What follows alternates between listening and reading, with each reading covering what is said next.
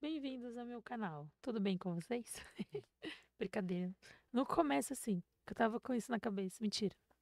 Gente, é, primeiro eu quero agradecer né, a vocês que estão aí todos os dias, todas as lives, participando e aos comentários que vocês têm deixado, falando: nossa, descobri o canal, nossa, a história de Fulana me emocionou bastante, nossa, a história de é, Beltrânia também. Isso é muito bom pra gente. E aproveita e compartilha, curte, não esquece de é, adicionar a gente nas redes sociais, lá no TikTok, no Instagram, viu? Isso é muito importante para o nosso crescimento mesmo. É, depois eu vou deixar o arroba para vocês de uma agência de que ela faz. É, não tem problema, não tem problema. Que ela mexe com publicidade, é, mexe com arte, com uma série de coisas. E o preço dela é bem acessível. Depois eu vou deixar nos comentários, porque eu não lembro agora o nome da rede social, para me falar para vocês. Hoje a gente está com a entrevistada Daniela. Daniele, com, com E no final. E amanhã a gente vai ter um entrevistado homem, que é o Daniel. Ele mora, acho que é em Hortolândia, se eu não me engano. A história dele é bem interessante, pelo que ele me passou.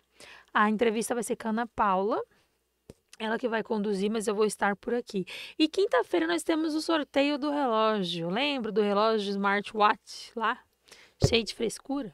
Então, a gente tem a entrevista dele na quinta-feira. Na quinta-feira a gente vai ter a doutora Thais, junto com a Evelyn, fazendo o, a, o sorteio. E vai ser um episódio delas falando sobre as gírias no, na cadeia. Tipo, tem uma gíria que eu, que eu falo muito, né? Que eu falei que eu, que eu até imagino, tipo, a doutora falando isso. Que é, que é a do Chile, né? Que eu tenho até um grupo onde chama Meninas do Chile. Apesar de eu terem falado que esse grupo é um grupo falido, tá tudo bem, não tem problema. Importante é que eu tô lá e que as meninas que estão lá, a gente tá sempre se comunicando. Então é isso que importa. E eu sempre falo muito do Chile, né? Que Chile vem de chilindró. E vocês perguntam muito o que é boqueta, o que é. O que mais vocês perguntam mesmo? É boqueta, acho que jega, praia, acho que eles perguntam. Ah, é um monte de coisa que vocês perguntam. Boia, um monte de coisa que vocês perguntam. Então a gente vai fazer um episódio voltado a isso e vai ser muito legal. Além do sorteio do relógio, tá? Participem. Da outra vez eu fiz o sorteio, acabou que eu, eu acabei dando para três pessoas. Moravam longe, viu? Uma era de do Rio Grande do Sul Porra, mano, a outra da Paraíba. É, acho que era da Paraíba. E só uma era do interior de São Paulo. O povo era de longe. Então é isso, gente. Daniel. Daniele. Tudo bem? Tudo. Como você está? Estou bem, graças a Deus. Conta pra gente um pouco de quem é a Daniele hoje, nos dias de hoje. No dia de hoje, sou uma Daniele re renovada, né? Como é, gente, que eu tô ficando nervosa. Agora começou, já começa a suar. Não tem problema, pode ficar à vontade. No seu tempo. Sou uma pessoa que gosta de ficar muito sozinha, sou muito antissocial, não gosto muito do público. A maioria antes de falar chora quando senta aí. É. É, acho que é uma forma de terapia, sabe? É, pode tipo, ser você falar um pouco, é, né? É porque você relembra, tipo, os momentos mais difíceis da sua vida, né? Então, É. é meio que difícil falar mesmo. Mas eu sou uma pessoa extrovertida, gosto muito da minha casa, do meu lar, do meu cantinho. Tu mora sozinha? Moro, moro sozinha, eu e minha filha, né? Sim. Então, tipo, a Daniele de hoje é mais caseira. Eu gosto de ficar bem em casa. Quando eu tô fora da minha casa, eu já fico agoniada, estressada. Gosto muito. Hoje você trabalha. Trabalho. Atualmente, eu tô trabalhando num lava rápido, né? Por causa da minha filha, não tem como, não tem quem fica com ela, né? Então a gente vai se virando como pode, né? É importante se virar. Assim. E você trabalha no Lava Rápido, sua filha estuda. E essa é a sua vida hoje? estuda. É, essa é a minha vida. Tipo, ela tá na escola quando eu não tô trabalhando, porque que nem no frio, não tem carro pra lavar no frio, né? Ninguém lava carro no frio. Ninguém Então eu fico em mesmo. casa cuidando da casa, né? E dando glória a Deus pra Deus abençoar com alguma coisa, assim. Mais um bico, sei lá, às vezes dá louca, vou lá no Brás, vendo uma água. Ai, trabalho essa d'água. de, de puxadora, tra... puxo pro restaurante, pras lojas, e assim nós vai vivendo. Ah, aquele pessoal que fica chamando na rua? Isso. Nossa, vai bater naquele povo. Nossa, não bate não, tadinho. É um... Soa. Às vezes eu tô lá andando e fica, por favor, vamos lá, vamos lá. Eu falo, eu quero. Não, porque, tipo, tem que levar, vai, 20 pessoas pra ganhar 50 reais no dia. Aí depois que você leva essas 20 pessoas, aí cada pessoa que você leva, você ganha mais dois reais. Nossa! É assim um trabalho, não é salário fixo, não. Você tem que correr atrás. Ah, então por isso que eles Que eles se mata. insistem. Nossa, são Sim. insistentes. E cada um tem seu espacinho ali. Ninguém pode invadir o espaço do outro, não. Porque se invadir, filha, é que nem biqueira. É igual Sai biqueira. porrada. Deus do É cada um no seu espaço, no seu cantinho, cada um tem seu ponto. E ninguém pode atravessar. Meu Deus. É difícil, não é fácil, não. Vendo assim de fora, né? Parece que é até fácil, mas não é não. E hoje, como você se vê? Hoje, como eu me vejo, ah, uma pessoa guerreira, bem capacitada. Você ficou quanto tempo lá dentro? Três anos. Três anos. Três anos. Pra arredondar, você vai dois e oito, dois, né? Porque a cadeia abre, assim, um pouquinho cada Você foi presa junto com a, com a. Como é o nome dela? Stephanie. Vocês são do mesmo. Ah, são do mesmo BO, né? É, eu lembro, que BO. por causa da multa eu vi. Entendi. E me fala, como que você, como, como que você foi? Não, me fala, você antes, antes, né? Antes do, de você ir presa, sua vida anterior. Ah, minha vida anterior era só loucura, não tinha filha, não tinha nada, né? Então, Sua infância. A minha infância, a minha infância foi bem difícil, né? Porque minha mãe me deixou com meu pai. Quando eu tinha. Isso eu choro, gente. Quando eu tinha apenas um ano de idade, né? Me deixou com meu pai. Meu pai era. Era solo, tipo, não tinha ninguém pra cuidar de mim também. Eu sempre fui criada assim na mão dos outros. Até ele conhecer minha madrasta, né? Que começou a cuidar de mim. Mas por que que sua mãe deixou você com seu pai? Então, é tipo assim. Quando eu era mais crianças, eu, eu escutei várias versões. Eu nunca escutei nenhuma versão da boca do meu pai, sempre da boca dos outros. E depois de um tempo que eu vi conhecer minha mãe, minha mãe contou que ela e meu pai tiveram uma briga, né? Feia. E que ela tinha que tomar uma decisão de se separar dele. Porém, eu tinha onde ficar. Ela falou, né, que eu tinha a casa do meu pai e ela não. E ela achou uma pessoa pra ajudar ela, só que a pessoa falou, ou ela ficava comigo, ou ficava com a minha mãe, que as duas não cabiam dentro da casa dela. É como eu tinha onde ficar, ela me Ela deixou achou. com meu pai. Sério? Sério. E ela foi morar com essa pessoa, né? Hum. Aí foi aí que minha vida se tornou, acho que um verdadeiro inferno. Porque minha infância foi todo um inferno.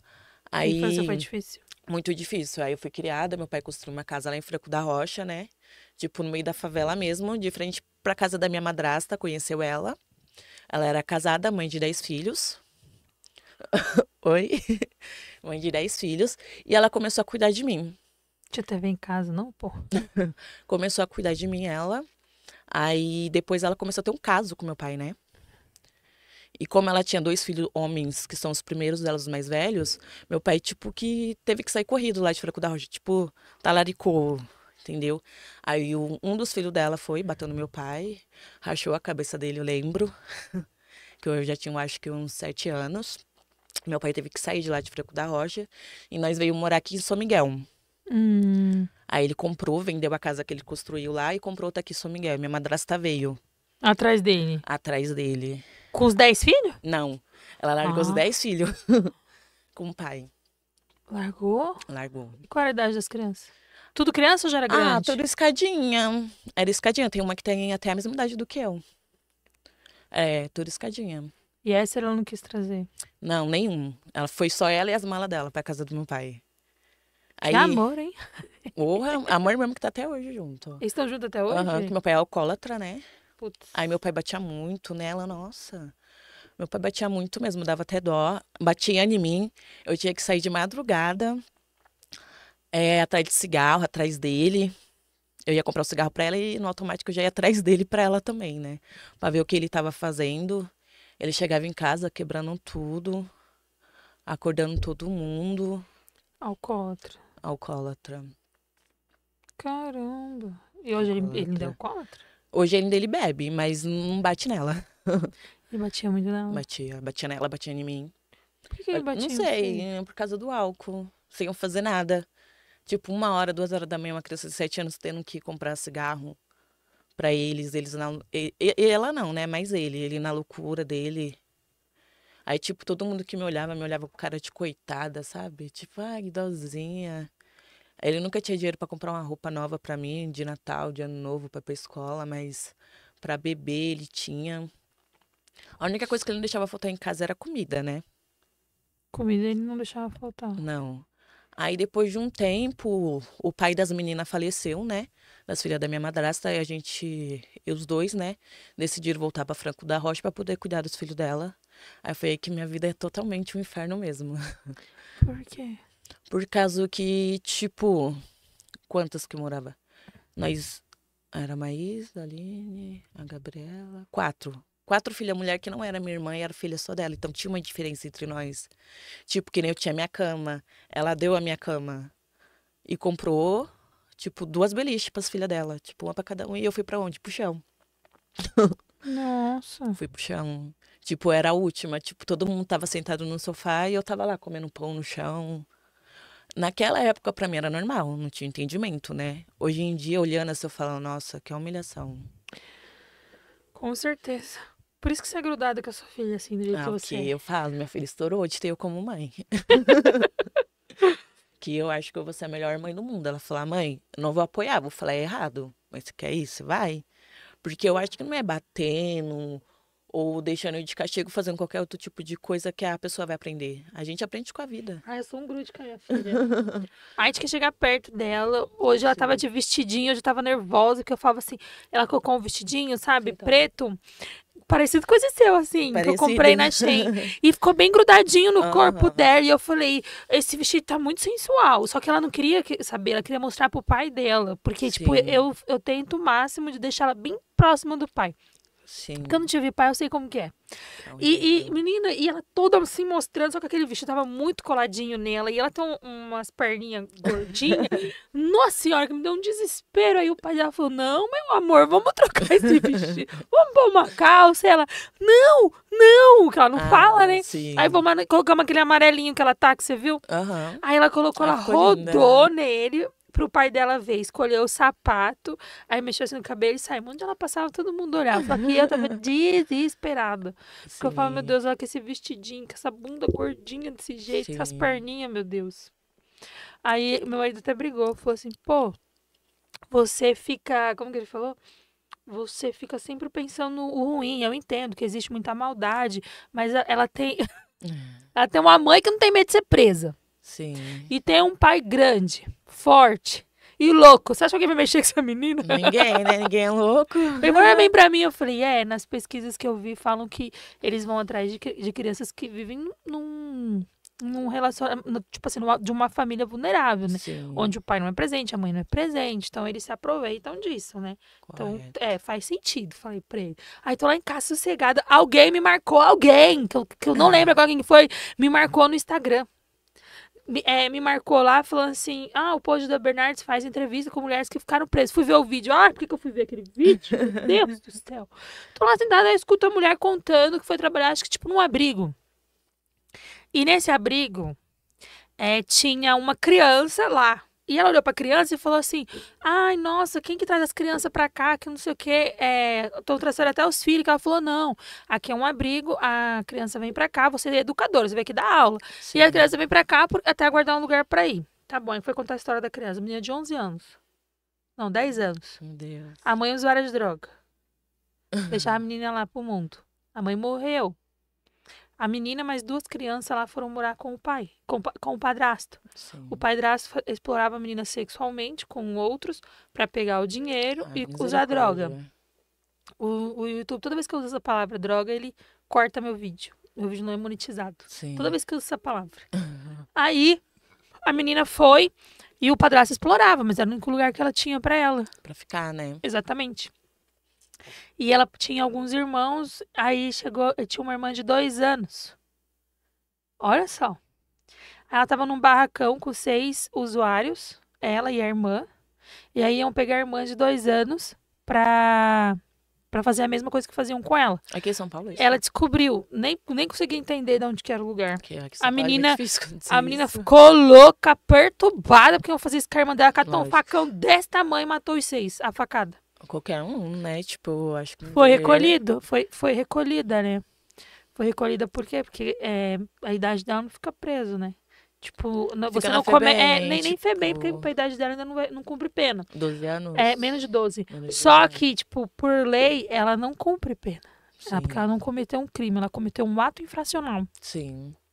Então, tipo, mas eu falei, eu, eu, eu falei assim, nossa, se eu vejo uma criança dessa, eu trago ela pra minha casa. Fala, vem aqui, minha filha. Você é uma heroína. Vem sim. aqui, porque só quem já foi abusado sabe como que é. Sabe? Eu fui na minha infância Eu e até hoje fui. eu lembro também. E, nossa, eu lembro com detalhes, assim. E o medo de falar e ninguém ia acreditar. Então você guarda ali aquilo dali pra você Foi a vida inteira, comigo. né? Não, no caso, minha mãe disse que era culpa minha, tudo culpa minha. Era- E ah, que eu era não. aliciadora de homens casados. Aí eu não- nunca tive coragem de jogar no ventilador, mas se um dia eu tiver a oportunidade, eu jogo. Isso daí quem só sabe é só minha mãe, que eu comentei com ela, e umas amigas bem próximas mesmo, mas Estuprada, estuprada eu nunca fui. assim. É, na minha infância, né? Eu fui com 18 anos, mas na minha infância não. Estuprada, assim, mas eu fui bem, bem assediada. Tipo, a molestada, né? É, Tipo, se, eu, se eu não soubesse, exatamente, se eu não soubesse me defender, Tipo, naquela época, tipo, eu não entendi o que que era, né? Mas agora que eu cresci, eu lembrando, tipo, às vezes eu lembro de algumas cenas, eu falo, a terapia "Nossa, me fez lembrar de muita coisa. é ruim, tipo, tipo, tira sua inocência, né? Você acaba sendo um, como que eu posso falar? Uma criança, como que eu posso usar a palavra? Não sei. Não, você cresce com, com vários problemas mentais. Não, tipo, Não problema mental de ser louco, tipo assim, com vários, com vários problemas que, que você não consegue. se, é, se relacionar exatamente, com as pessoas. Exatamente. Mas no meu caso não, no meu caso eu fiquei uma criança safadinha mesmo. Como assim? É tipo, eu não entendi o que estava acontecendo. Então, o que a pessoa fazia comigo, eu queria fazer com as outras crianças, entendeu? Eu queria beijar a Ah, boca. refletir. É, eu né? queria tirar a roupa das crianças, entendeu? Tipo, eu não fiquei aquela criança, tipo, chorando Retraída. canto. É, eu queria fazer igual. Tipo, qualquer criança que brincava comigo, eu tirava a roupa, e depois a criança contava pro pai, ia lá contar pra. E ninguém sabia de onde que eu via isso, né? Isso foi, foi lá onde você morava? Aonde que eu morava? Sim. É. Nossa, gente. Beijava as bocas das crianças embaixo da cama, gente. Porque beijavam a sua. Porque eu beijava a minha, Hum. entendeu? Mas foi homem ou foi mulher? Foi homem. Quando eu tinha três anos de idade, foi uma mulher. Nossa. Foi uma- eu e eu lembro perfeitamente. Eu lembro do dia que eu falava Coragem. pra minha mãe assim. Eu lembro, eu tava assim, assim, assim, dentro de um tanque. Ela falou: Como que você lembra disso? Você tinha só dois anos e meio. Eu falei assim: Eu lembro de tanta coisa que você nem sabe. Ali pra ela. De tanta coisa. Ela, você, você tinha dois anos e meio. Eu falei: Pois eu me lembro perfeitamente. Eu dentro do tanque, Sim. de fralda, assim, assim, assim, assim. Falei pra ela. E ela, tipo, ficou quieta, porque ela sabe que, tipo, eu não tô louca, né? Sim. Caramba, e você beijou as crianças. Beijava, beijava as crianças. Tem uma vez que a gente morava até em São Miguel aqui ainda. E eu beijei a boca de uma criança que depois a mãe foi lá, bateu na porta da minha madrasta. Falou Você pra tinha minha quantos madrasta, Eu anos? apanhei tanto, tanto. Aí eu tinha uns seis anos. Eu tinha uns seis anos. Você apanhou. Muito. Tudo eu apanhava, né? Tudo eu apanhava. Eu sei. tinha que fazer. Eu acho até ruim isso, que em vez de quando eu- eu quero, tipo, sabe? Mas é a né? forma que eu fui criada. Às vezes eu falo, não, tem que ser diferente. Isso. Mas na hora que faz muita, muita raiva, assim, tipo, quando eu vou ver, eu já. Não. Mas é difícil pra nós, né? Que, tipo, não tive. Porque, bem dizer, eu não tive nem pai nem mãe. Que meu pai sempre trabalhou. O tempo livre dele tava bebendo cachaça nos botecos. Então, Você minha chegou a contar pra ele do que acontecia com você? Meu pai nunca ligou na. Tipo, nunca ligou pra mim assim. Como eu posso dizer? Tipo. Ele não ligava se minha madrasta me batia, se minha madrasta lavava minha roupa, porque quando. Depois que a gente se mudou de novo pra Franco da Rocha, a minha madrasta, quando brigava com ele, não lavava minha roupa e não deixava eu comer. Tipo, ele tinha que fazer a comida pra mim, ou eu tinha que ir lá e fazer a comida. Ela falava: você vai comer só quando seu pai chegar. Eu, tá bom. Ela é viva ainda? Ela é viva. Mas eu gosto muito dela. Tipo, ela foi uma mãezona pra mim, assim, na parte do quê? Hoje em dia eu sou muito limpa.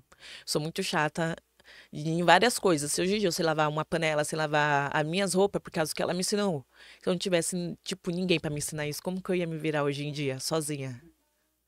Porque eu não tenho ninguém pra fazer nada pra mim. É só eu, eu e Deus. É, mas um- uma coisa não justifica a outra o que ela fez. Sim, você mas, teve uma infância bem tipo, difícil, então. né? É, tipo, eu aprendi a reconhecer o que, as coisas boas também. Não ver só o lado não, ruim. só o lado ruim, né? Tipo, é, ah, é aquela bom. pessoa só fez mal, só fez mal, colocar uma pessoa como uma bruxa. Não, são fatos que realmente aconteceu, entendeu?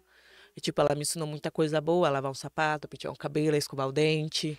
E a pessoa entendeu? que, Mas nunca que ligou pra dos mim abusos assim. morava com vocês? Eu não eu prefiro não dar muito detalhe, senão vai estar muito na cara quem foi, sabe? Quem me conhece bem, assim. Vai saber. É, e tipo, não quero trazer problema agora, deixa a pessoa, né? Deixa ele pra lá, né? Deixa ele pra lá, já tô grande agora, vem mexer agora pra você ver, mato. tá certo. E me fala, é, você depois, sua vida tá cantando, tô lembrando da minha. Se ela tivesse aqui, ela já tinha destruído essas câmeras tudo. Já quietinha, né? Não, mas a minha é demais. Sim. E, e ela faz assim, hum, com o dedinho assim, brava, você viu? Desci do carro, subi correndo pra ela não me ver, não adiantou, chorou. a sua entrou no carro, oi! Abraçando. Ela quer abraçar todo mundo. Sim. Deixa eu te falar, aí depois, com quantos anos foi seu primeiro namorado? Meu primeiro namorado sério? Meu primeiro namorado sério foi com 14. 14. É, Ah. Quando a gente vem de um relacionamento, de, um relacionamento não, né? Quando a gente vem do, do- da criação de uma família assim, a tendência é essa mesmo. Sim. Não, e o e o engraçado é que, tipo assim. O que eu achava engraçado, tipo, lá, que, tipo, nós brigava muito, muito. Mas todo mundo, tipo, só queria bater em mim. Por causa de uma confiança, assim, tava na ponta. Aí sai daqui, aí eu não vou sair. Aí já é um cascudo. Porque eu era magrinha, assim, sabe? Sempre fui magrinha, esqueletinha. E sua mãe te apareceu quando? Então, a minha mãe, ela, ela tinha aparecido quando eu tinha uns 7, 8 anos, querendo a minha guarda. Com meu pai. Meu pai não quis dar a minha guarda pra ela, né? Foi até pro, pro juiz, pra justiça e tudo. Só que meu pai ganhou, pelo fato de ele ter ficado comigo desde um ano de idade, né? Desde bem novinha. Aí ele ganhou, minha mãe tinha que pagar uma pensão. Aí eu não lembro de muita coisa. Eu lembro que minha mãe fala que hoje em dia ela é minha rainha, gente. Mas eu lembro que ela fala que eu era muito chata, muito birrenta. E toda vez que ela ia me pegar, eu nunca queria ir com ela. Então ela abriu mão, nem pagou a pensão e nem me pegou. Ela falou. Ela falou, deixa que um dia ela vem atrás. É Quando isso. ela crescer. E realmente, hoje em dia, nas maiores dificuldades da minha vida, é minha mãe que tá comigo. Sua mãe. Minha mãe que tá comigo. Então hoje, hoje vocês, você, você reencontrou você tinha quantos anos, mais ou menos? Quando eu comecei a ter uma convivência boa com ela, foi depois dessa cadeia mesmo. Que eu- antes de eu ser preso, eu, já- eu tinha brigado com ela. Eu tava uns dois anos sem ver pai, sem ver mãe, sem ver ninguém. Tava perdida no mundo, só vivendo. Sério? Só vivendo. Perdida mesmo. Perdida, ninguém me segurava. Vamos ali, bora, vamos ali, bora, bora, bora, vamos. Você não queria saber eu, de eu nada. que- queria saber só da perdição. Nossa. Só da perdição. Não tinha família. Tipo, no meu ver, o povo falava, cadê sua mãe? Não tenho mãe. Cadê seu pai? Não tenho pai. Não tinha filho. Qualquer buraco eu cabia, qualquer casa eu me enfiava. E o bom, que todas as casas que eu me enfiava, as pessoas gostavam de mim, né? Sim, tipo, bem. já pegava pra me adotar, assim. ah, sério, eu namorei com o Vitor Hugo. Eu tinha até o nome dele aqui, mas eu apaguei. Eu namorei com o Vitor Hugo, eu fui- ele mora lá na Penha. Tipo, eu comecei a ficar com ele, aí depois eu comecei a namorar com ele.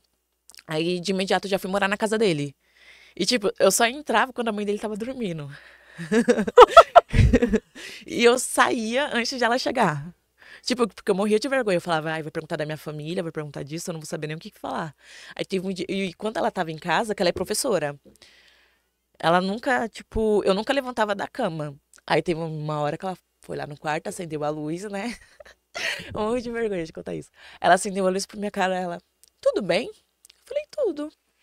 Ela, cadê seus pais? Você é uma menina tão nova, tô vendo aqui você Quantos todo dia na minha casa. Tinha 14 anos, 14 pra 15. Tô vendo você aqui na minha casa todo dia, que não sei o quê. Você pode fazer um favor pra mim? Eu falei, posso. Vai o quarto aqui pra mim, pelo menos. falei, tá bom, né? Peguei, assim, toda sem graça, morrendo de vergonha. Comecei a varrer o quarto. E quando eu fui ver, tipo, eu fiquei morando lá uns dois anos. Três anos na casa dela. Ela me comprava roupa de Natal. Você contou pra ela que você não tinha pai nem mãe? Eu falava que eu não sabia. Eu falava, ah, eu não sei, não me dou bem com a minha família. Eu falava o que acontecia na minha casa, assim, pai por meio por cima. E, tipo, o filho dela também era bem bucudinho, né, o Vitor Hugo. E, tipo, ele batia de frente e eu acabava ficando lá. Mesmo ela não querendo, eu acabava ficando, mas depois ela acabou aceitando, me levava pro médico, me dava comida. Eu era, tipo, uma pessoa muito folgada, eu acho, se ela vê isso, né? Me desculpa, tá? Por antigamente. É, eu era uma pessoa muito folgada, tipo, não queria lavar louça, não queria fazer nada, eu só queria dormir e sair no outro dia, usar droga, revoar, ir pra baladinha e dormir. Ele era da balada também? Ele também. O engraçado é que nós namorava, mas cada um ia pro peão. Ele, tipo, ele ia pra um lado, eu ia pro outro. Ele tinha quantos anos? Ele é a mesma idade que eu. 14 pra 15 anos. Mesma idade que eu. E hoje ele é o quê? Ele faz o que da vida hoje? Não Hoje, ah, ele tá preso. ele saiu de saidinha agora, mas tipo. Eu sempre perguntava se ele tava bem ou não, assim, quando eu fico solteira. Mas eu parei de perguntar por causa que na minha última saidinha. Não, eu tinha saído já Ele de foi- liberdade. mãe dele era professor e ele foi pro crime. Foi pro crime. Deve ser assaltante, provavelmente. Foi pro crime. Caramba. Pra você ver que família não é nada. Tipo, vai da cabeça de cada um, né? Não adianta se o pai é lixeiro ou o pai é professor. O ambiente que você vive, que você cresce, É. influencia muito nisso. Às vezes não, às vezes a curiosidade. Porque você que não é ali do crime, se você é um adolescente, você não tem um dinheiro. Aí você vai ver, tipo, aqueles amigos ali do crime tendo dinheiro, você vai querer o quê? Ah, eu quero ter dinheiro também. Por isso que eu tô falando. O ambiente onde você vive influencia. Eu entrei pro crime porque eu, eu namorava um policial, cara. Na casa dele. Conheci a irmã dele. A irmã dele mexia com coisa, era do corre. Ela do corre. E, e onde que eu tava? Eu tava com um policial. Tava com Policial não, guarda civil. né? Porque eles não é polícia, guarda Sim. civil. Entendeu? E depois, tipo, eu, não quis mais saber dele, porque, tipo, ah, quer saber de polícia? Sim. Aí nós pegou e ficou esse tempo todos juntos. Ainda fui presa com ele, fui pra Fundação Casa. Acho que foi 2013. Foi Do quê? 2013 que foi minha última FEBEM. No tráfico. No tráfico dele. O tráfico dele, como eu não tinha família, eu gostava muito dele, eu queria segurar o BO e, e que ele ficasse na rua, né? Porque é a cabeça. Hoje em dia pergunta se eu faço isso. Faço ou não faço? Mas vocês eram criança, né? Sim, praticamente, né? Nós você vivendo tinha? a vida. Quando Eu já tinha feito 15, eu acho. E ele quis 2013. também. Ele 15 também. Aí acabamos que nós dois, eles foi pra décima, lá da Penha, e descemos pra fundação. Aí foi minha última FEBEM também, que eu fiquei três anos. Dos 15 até os 18. Dos 15 aos 18 você ficou preso na FEBEM? Fiquei, mulher. Peguei muito castigo, era muito atentada. Quem vê essa cara aqui não fala nada. Peguei muito Caramba. castigo. E, tipo, o castigo de lá é seis meses, né? Então eu peguei bastante. É, porque vai tirar 3 anos de FEBEM, maluco. Os homicídios da FEBEM tira isso, três anos. Os homicídios, né? Três anos de ponta. Eu era muito atentada. Eu ia pra cima das polícias, nós virou a Chiquinha. Era a Chiquinha, não, a parada de Taipas. Nós virou em 2013. A Choque entrou, nós já tava lá no portão de saída. Nós acabou com a FEBEM, acabamos. a diretora entrou lá chamando nós de tudo com é nome, de demônio. Ela falou: O que vocês fez com a minha cadeia? Que não sei o quê. Você já acha que vai ficar assim? Colocou grade em ferro em tudo. Que lá nós chamava de veitânia, né? Que nós ficava gritando. É que nem Ah, na pé tem essa tal da ventana, né? É. Você fica- Aí você fica, e nós ficava, era, era módulo, que a gente chamava, era módulo branco, amarelo, azul e verde. E, e essa vez que você foi preso foi por causa dele? Foi por causa dele? E ele? Ah, ele ficou também preso lá. Ele... Três anos? Hã? Eu saí primeiro do que ele. Ah, você o primeiro que ele. Eu saí primeiro do que ele, porque ele era muito atentado também. Ele era muito atentado. E, tipo, ele tinha fugido da FEBEM. Ele tinha fugido já. Tinha ralado, sei lá, o muro da FEBEM caiu. Não lembro a FEBEM que ele tava, mas caiu. Aí ele fugiu e eu lá dentro, sem saber de nada. Eu fiquei sabendo depois que eu saí. Nossa, o Vitor Hugo tava na rua. Eu falei, como assim, gente? Ele fugiu da FEBEM, que não sei o que. Eu falei, é legal, que não sei o que, tá bom. Aí passou uns tempos, ele fugiu da FEBEM de novo. Ah! Resgataram ele lá dentro. Porque eu tava na rua, ele doidou. Chamou uns caras aí que ele conhecia, sei lá como ele conseguiu. Resgataram ele lá dentro. Dia de visita. Meu Ele e mais Deus. dois parceiros. Resgatou.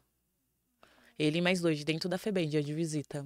Conhecido Tá ele, no né? portão da frente ainda, viu? Caramba! Ele é muito atentado. Como que é a FEBEM?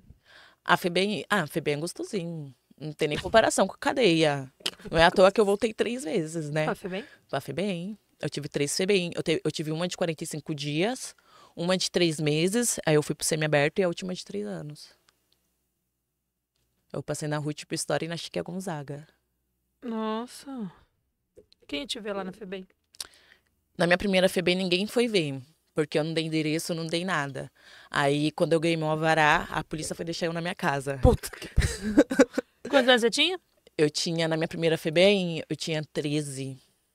13 13 anos. anos. Tinha acabado de fazer 13 anos. Aí eu tinha fugido de casa, que eu fugia muito de casa, tinha acabado de conhecer o centro, fui inventar de roubar um 55 com uma menina também que nem sabia. Aí nós roubou aqui na outra esquina tava a polícia que nós correu.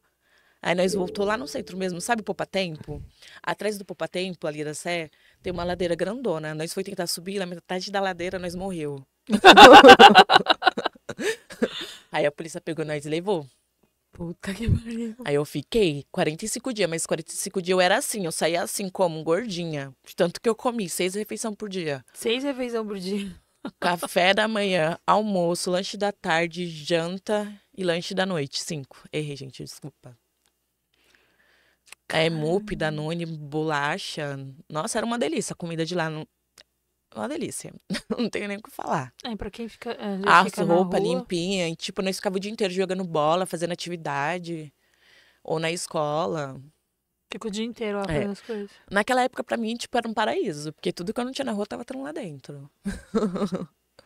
Você vê que triste, né, mano? Sim. Na cadeia, sem, na cadeia não, no caso na FEBEM, você encontrar o que você precisava na rua. Sim. Porque, tipo, eu procurei o abrigo várias vezes, mas o abrigo não podia ficar comigo. Porque eu tinha pai e mãe. Eles falam que abrigo é pra quem não tem família, né? Como eu tinha, eu tinha que ficar ou com meu pai ou com a minha mãe. Então, mas tem denúncia. É, eu acredito que o abrigo você não ia sofrer o que você sofria lá, não. Não. E também ninguém nunca denunciou assim, né, de maus trato, nem nada. O povo já comentava, ai, tadinha, que não sei o que, coitadinha. Ai, Mas ninguém fazia nada. nunca, nunca fazia nada. Caramba. É, isso que você falou do, do, do que você passou com a sua filha é o que eu fa- falo em casa. Às vezes eu fico muito nervosa, eu descontava no Roberto, meu filho. Tipo, eu tava tratando ele do jeito que me tratava. Sim. Aí eu comecei a ver, a perceber isso, sabe? Aí agora já, já me policio mais. Eu não, sim. né? O Ricardo que percebeu e me falou, falou, meu, você tá tratando ele igual te trataram. Aí eu falei, não, ele falou, tá sim. Ah, eu acho que por isso que eu tô solteira até hoje. Porque até com as minhas amizades, as minhas amizades também falam que eu sou muito arrogante, que eu sou muito grossa. Mas não é porque eu quero. É que a minha vida, me- a vida ensinou eu ser assim. A vida te deixou assim. É, né? tipo, quando eu vou e ver, eu já dei a resposta, já falei pronto. Mas às vezes é tipo uma coisinha mínima. Eu falo, ai, que não sei o que eu falo, nossa, tá nervosa? Eu falo, não, gente, eu não tô nervosa. É meu É só o jeito de ser mesmo. Não tô com raiva. Sua filha tá com quatro anos, Quatro né? anos. Até os sete anos é o período que ela tá formando a personalidade dela. Sim. Pra mim, eu falo todos os dias, eu te amo. Nós vamos ser bem amiga. Você me tem pro resto da sua vida, viu? Eu digo pra ela. É bem isso mesmo. Porque, tipo, eu quero que ela cresça com essa memória na cabeça. Sim. Aí você saiu com 18 anos, então, né? Da FEBEM. É, minha última foi bem. A segunda FEBEM alguém foi te 18. ver? A segunda, sim. A segunda eu tive a visita da minha madrasta, da minha mãe, do meu irmão e do meu pai. Você tem um irmão? Tenho, por parte de mãe, eu tenho quatro irmãos. Ou quatro não, três. Quatro é comigo. Ah, depois de você ela teve mais filhos. Não, ela tem o mais velho, que é o Daniel, que ele tá me assistindo. Beijo, irmão, te amo. É, Aí vem, a... vem eu, aí vem o Fabrício, que ele é bem fechado, e a Ana Carolina, que é o oposto de mim, né? Que ela é tipo, tipo emo, sabe? Muito inteligente. Tipo, nossa, eu queria ter a metade do que ela tem. É bem inteligente. Aham, muito inteligente. E, a... e o menino que é mais fechado? O Quantos anos? Fabrício, ele tem 22. Ele é mais na dele. Ele é mais nada, ele mora com a minha mãe. Hum, você não quis morar com sua mãe? Quando eu saí da cadeia? Eu morei com ela. Eu morei, só que minha mãe. Ai, mãe, desculpa, eu vou falar, você é chata. Não tem como, tipo, morar, tipo, assim, como que se fala? Ela tem um sono muito leve. Muito, muito leve. Tipo, qualquer barulho acorda ela. Aí se acordar ela, já sabe, né? É que nem presa. Nossa! Ó, o ar do sono, só faltou falar isso. é, tipo, não tem. Tipo, eu sou muito barulhenta, eu gosto de privacidade, não. Eu gosto de levantar, já ir fazer alguma coisa, lavar uma louça, limpar um quarto, sei lá, né? Falar alto, querendo ou não, no telefone. E, tipo, por mais que era a casa da minha mãe, eu nunca convivi com ela, assim. Então, me incomodava. E eu via que eu tava incomodando também, um pouquinho, né? Não muito, mas um pouquinho. Quando eu fazia uma bagunça e não arrumava. Quando eu acordava e fazia barulho. E Até mesmo quando eu com ela, brigava né? com a minha filha, que minha mãe não gosta, até hoje que eu brigo com ela, mas, né, fazer o quê? Não tem o que fazer. Ela não gosta. não. Ai, meu Deus. E então você, na verdade, você entrou pro crime, você tinha 13 anos de idade. 13 anos. Eu comecei a querer conhecer, né? Que eu não tinha entendimento nenhum. Porque eu conheci o crime, na verdade, quando eu comecei a fugir na casa do meu pai. Que eu fugia, dormia embaixo de escada, dormia dentro do guarda-roupa da minha amiga, da Tayara. Por que, que você dormiu dentro do guarda-roupa dela? Ahn, porque minha família já tinha batido na porta dela uma vez e deu uma barraca, eu tinha fugido de novo. Aí ela falou, amiga, você vai ter que ficar dentro do guarda-roupa. Casa da minha mãe. Falei, tá bom. Aí você- ela vai estar quentinho. Ela me levava pizza dentro do guarda-roupa. Ela levava o balde pra me fazer xixi. Aí quando ela ia tomar banho, ela disfarçava a mãe dela, aí eu ia pro banheiro, depois ela entrava e eu tomava banho junto com ela. Quantos anos ela tinha? Nós temos a mesma idade. Não, nessa época, quantos anos vocês tinham? Nós tínhamos 13 anos. 13 anos. Eu conheci ela, eu desandei também, porque foi quando eu comecei a fugir de casa. É, conheci ela através de outra amiga que eu cabulava muito na escola. Tipo, eu faltei. Quantos dias tem um ano mesmo? Desculpa. 365. 365. Eu faltei 360 dias na escola. Eu saía da pra ir pra escola todo santo dia. Não faltava um dia. Mas na escola eu não entrei um dia. Porque, tipo, lá em Franco da Rocha, tipo, tem cachoeira. Então, tipo, nós gostava Tem muito. lá? Tem, a quarta colônia. Então, a gente gostava muito de ir pra represa, pra cachoeira. Então, nós vivia cabulando pra ir pra cachoeira, beber vinho, ia nos mercados, roubava vinho, roubava bis. Ficar dando um beijinho na boca dos meninos, né? Meu Deus, ela é de lá também. Ela é de lá também. É minha melhor amiga, eu tenho amizade com ela até hoje. Tipo, né, não é tão próxima por causa da distância da onde que eu moro, né? Tipo, ela mora lá e eu moro aqui, então não tem como ficar muito indo lá, não. Que a gente tem as Caramba. nossas vidas. Caramba, mano. E aí, tá, isso foi com 13. Aí, aí quando, com 18 anos, quando você foi preso, você já tava fazendo o quê? Foi no tráfico também, 18 anos. Ah, todas as suas, desde a FEBEM, tudo foi tráfico. Não, a primeira foi um 55. Ah, é verdade, depois que foi o tráfico É, do- aí a segunda foi, foi um tráfico. eu tava. É, foi um tráfico. Porque eu acho que eu em um ano e meio eu fui presa três vezes. Um ano e meio. Menor de idade. menor de idade. Porque eu fui presa com outra menina também, que eu tinha brigado com ela em um dia. Tipo, tinha uma semana que eu tinha brigado com ela. Ela é que nem você, assim, fortinha, sabe, loirinha do cabelo. Eu saí na mão com ela porque eu xinguei ela de talarica lá, por causa de uma pessoa que, tipo, eu nem conhecia, nunca nem falei na vida. Mas que eu vi ali, né, como, tipo, eu me achava do movimento. Então ela passou, ela ficou, falou, falou assim, que você tá olhando o quê? Eu falei, o que, o quê, talarica do caramba? Aí, né, todo mundo sente fraqueza que eu sou magrinha. Aí ela veio pra cima de mim, aí nós saímos na mão. Aí foi um puxa-puxa de cá, um puxa-puxa de cá.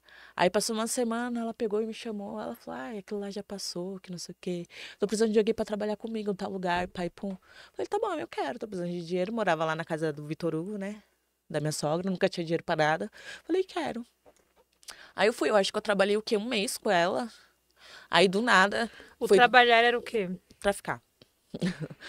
Eu trabalhei, tipo, um, um- mês assim com ela. Aí eu lembro como se fosse hoje o dia que foi presa. Tava eu e ela assim de canto, nós estava até fumando.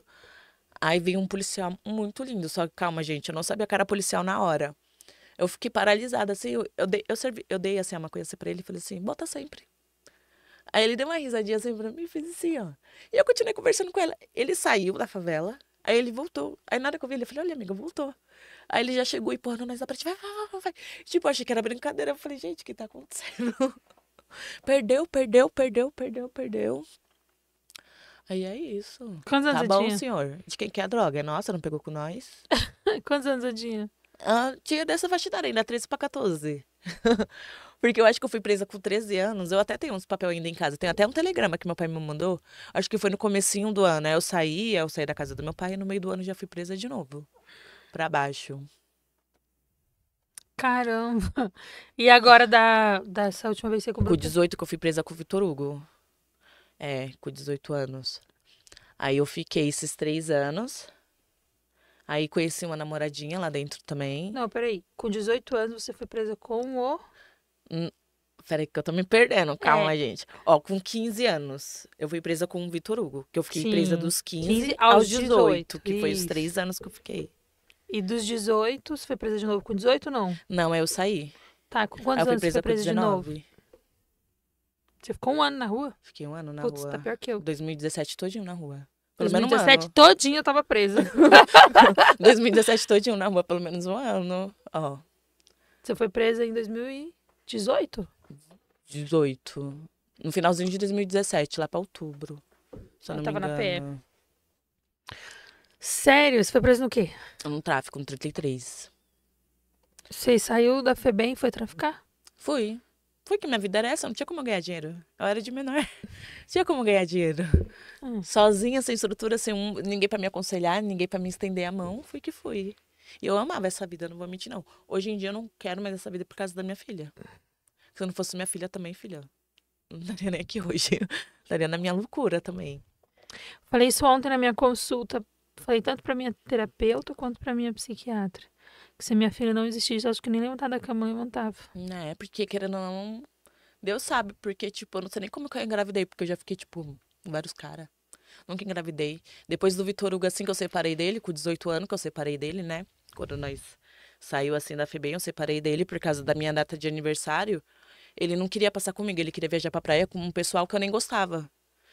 Aí eu falei, você vai escolher, porque eu já tava um pouco mais madura do que ele. Então eu falei, você vai ficar comigo no meu aniversário você vai pra praia. Ele falou, vai pra praia. E dessa vez ele desacreditou.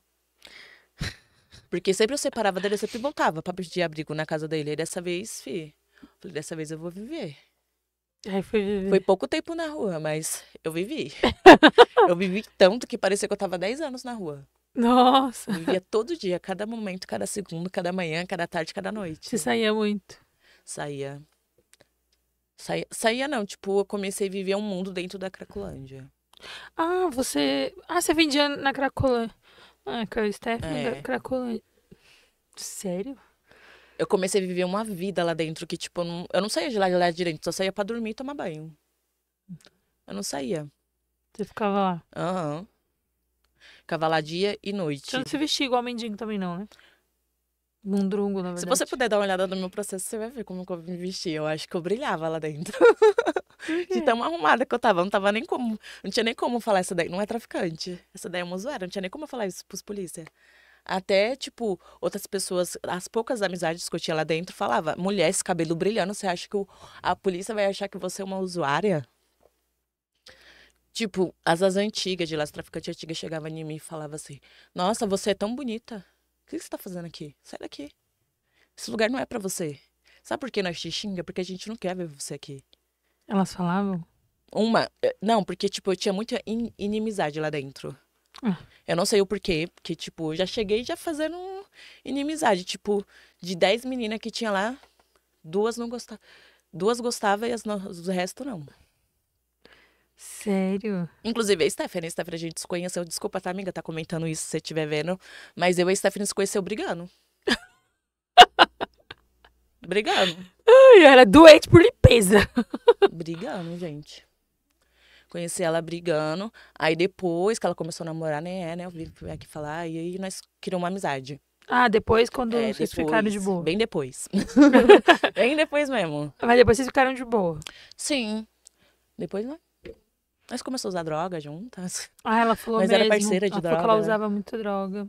Dia e noite, tipo. Nós, não sei como nós duas tá viva. Dia e noite. Dava meia-noite e nós falava, olha a hora do primeiro tiro, e nós começava. Aí cheirava a noite inteira. Eu ainda só cheirava de noite, né? As meninas que andavam comigo, tipo, não vou ficar dando nomes, era o tipo o dia inteiro e a noite inteira. Eu não sei como elas conseguiam. Uma vez eu fiquei cinco dias, eu e a Carol, essa daí eu posso falar porque ela é minha amiga mesmo, ela não vai achar ruim se eu falar. Nós ficou cinco dias cheirando. Direto. Direto. Eu não tinha voz. Eu tava parecendo uma usuária. A voz de uma usuária. A magreza. Vocês acham magra agora? Imagine antes. Cheirava, cheirava, cheirava, cheirava com força. Tinha dinheiro pra cheirar pó, mas não tinha dinheiro pra pagar um hotel bom pra dormir. Caralho. Dormia nos hotéis assim que. Uma... uma- Até, tipo, eu e a Stephanie já chegou a dormir nesse hotel, né? Porque eu que aluguei.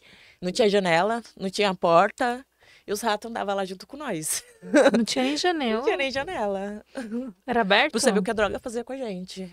Era tudo aberto. Não, ela falou mesmo. Que tipo, você. Mano, pagar um lugar daquele pra dormir, parça, se fosse de graça, da hora. Mas você vai pagar pra dormir, tipo, aquelas condições, hoje eu não pago. Hoje eu durmo na rua ali. não pago. Caramba. É, não, ela chegou a comentar mesmo sobre essas, essas coisas que tem lá e tal. Ela falou bastante. Sim. Aí, tipo, eu vivia lá dentro. Tipo, assim. Quando você chega lá e você é uma pessoa bonita, a pessoa não quer saber de onde que você é. Tem uma mina de lá, mano, acho que é Juliana Popó. Você conheceu ela? Juliana, sei, assim por nome não. Ela é. A gente não sabe muitos nomes das pessoas Tem lá. ela, tem a Paty, que é de lá. A Juliana eu conheci ela na pedra. Começo nós duas se demos muito bem, depois Sim. só ladeira abaixo. A outra é a Paty, a Patrícia, que ela é de lá Sim. também, chamava ela de Paty do Sedex. Minha Acho amiga, eu, essa adoro ela. Uma grandona, entendida. Bem altona, cabelo cacheado. Sim. Gente boa, eu adoro ela. Aí eu tive muitos namorados lá dentro, né, também. eu tive muitas brigas. Porque lá, gente, é assim. Você bebe, tipo, é funk o dia inteiro, dia e noite. Lá é um você- outro mundo, né? É um outro mundo. Tipo, você tá namorando com um cara hoje, não deu certo. Você, você vai continuar ali, amanhã depois vai aparecer outro cara. E você vai ficar com outro cara. Não tem como. E, tipo, aí todo mundo começa a conviver, tipo, no mesmo ambiente. é, é muito estranho. É muito estranho. É porque rola muito ciúmes, aí a pessoa passa assim, aí você tem que abaixar a cabeça, tipo, meio que olhar meio de cantinho, assim. Porque senão a pessoa fala, ah, você tá olhando, que isso aqui", mas não tem como você não olhar. A pessoa, tipo, é um corredorzinho assim, a pessoa já vai passar assim. Você vai olhar, você vai ver quem é que tá passando. É, isso é verdade. Caramba, mano. Você ficou lá, e lá dentro você ficou quanto tempo na Cracolândia? Na Cracolândia, 2017 todinho eu fiquei. Desde quando eu pisei o pé lá, nunca mais saí.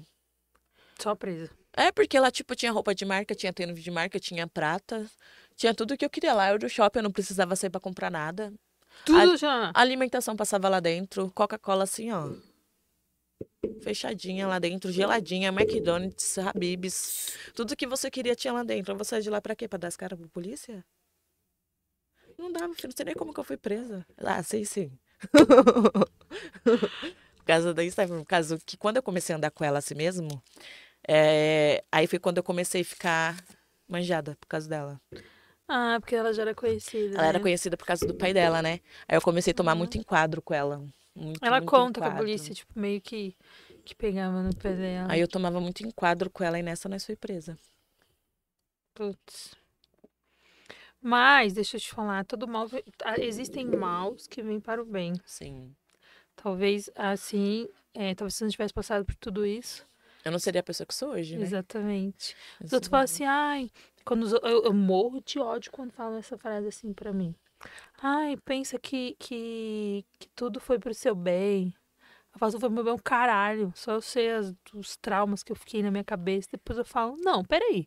Será que se eu não tivesse passado por tudo isso, eu seria quem eu sou hoje? Será? Não. Quase 10 anos presa?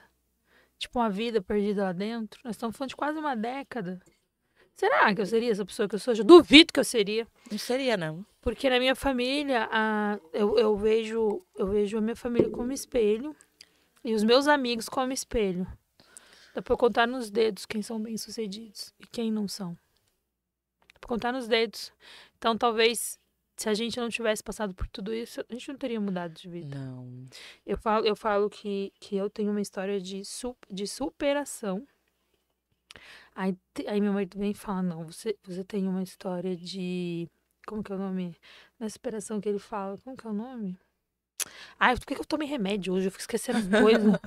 ah, esqueci o nome que ele fala. Na superação, Ana, ele, ele fala um, outro... Ah, sucesso. Eu tomo um remedinho, sabe? Esse remedinho às vezes faz eu esquecer as coisas, às vezes faz eu lembrar. É, ele fala que é a história de, de sucesso. Tipo, de você ir lá, ter passado por tudo que você passou e ainda conseguir lidar com isso e ajudar outras Sim. pessoas, sabe? Não é fácil. Não é fácil mesmo. Tem que ter o E aí, e me conta uma coisa, lá na Cracolândia, é uma curiosidade minha que eu devia ter perguntado pra Stephanie e eu esqueci. Aí, ela veio a segunda. Ainda querem que ela venha de novo, você acredita nisso? Ah, ali tem história. é, porque, tipo, quer ouvir as histórias da Cracolândia mesmo. Sim. Então, eu tenho que conversar com ela sobre isso. É, lá na Cracolândia, é, você via muita, muita troca de coisa? Como assim troca? Tipo assim, dos outros chegar lá trocando telefone. Ah, sim, baratinho. Eu já tive até um iPhone, filho. Hoje em dia eu não consigo ter um. eu até dormi. Eu já tive até um iPhone que eu, que eu quebrei facilmente na cabeça do pai da minha filha.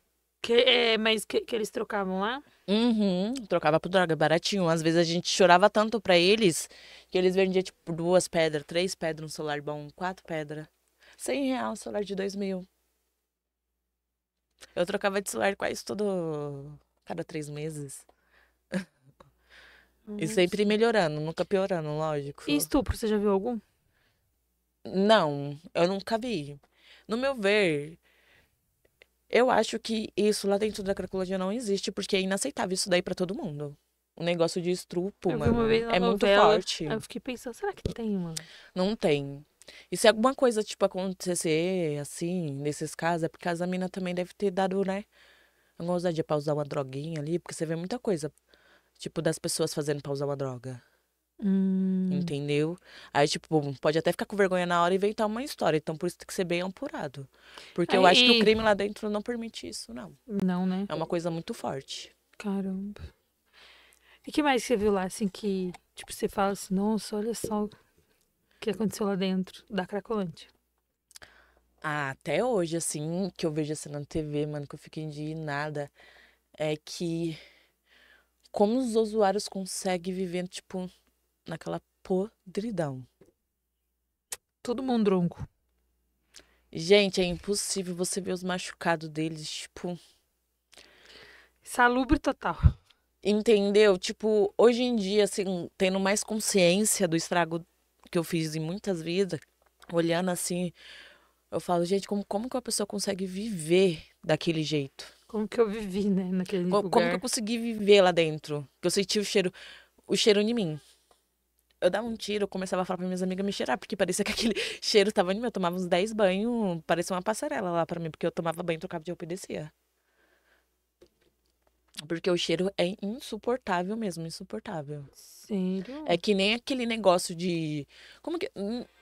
Até o cheiro do, do lixo mesmo, daquele galpão de lixo, dá pra suportar do que o cheiro lá de dentro. Sério? As pessoas fedem muito, muito. E fora as brigas deles também, né? Que tipo, Esses dias eu vi eles invadindo, acho que o mercado, mano. Não, a farmácia. a farmácia rouba tudo, vende tudo pro, pro Eu trabalho pra. Eu trabalho num escritório que defende aquela farmácia. É. Na hora que eu vi, eu falei, meu Deus, vai ter processo até. Na hora que eu vi, Ixi, Sim. bastante gente assistindo.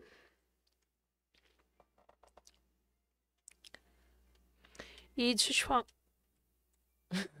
É ela com Vamos lá. celular ali. É, não, e, e, e tá interditando ali.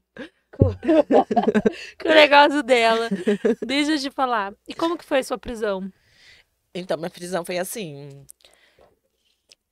Eu terminei de assinar, fui comunicada que eu ia ter uma audiência, né? Que eu fiquei um ano assinando. Aí, nessa audiência, eu fiquei em choque. Eu cheguei no pai da minha filha e falei. Falei, amor, vamos embora, pai pum, eu vou ter audiência, eu tenho certeza que eu vou ficar. E eu não quero ficar presa agora. Ele falou assim, tá bom. Aí nós foi. Hum. Aí ele vendeu tudo que ele tinha, bicicleta, celulares, relógios. Chamou o Uber, ele falou, tu tem uma casa de um parceiro meu lá em Caraguá, e nós vai pra lá. Falei, tá bom, vou ficar procurada mesmo, né? Aí nós desceu, nós foi morar lá em Caraguá, na casa desses amigos dele. Nós ficou um tempo lá, ele começou a traficar lá e, e tudo. Só que daí nesse meio tempo eu, eu engravidei, só que eu não sabia que eu tava grávida. Aí já tinha passado a audiência, né? Aí eu tinha puxado lá no celular, como sempre, e tava lá, absolvida. Aí eu falei, nossa, pulei, vibrei. Eu falei, nossa, eu fugi à toa, que não sei o quê, né? Se pá, era até pra me ter ido na audiência.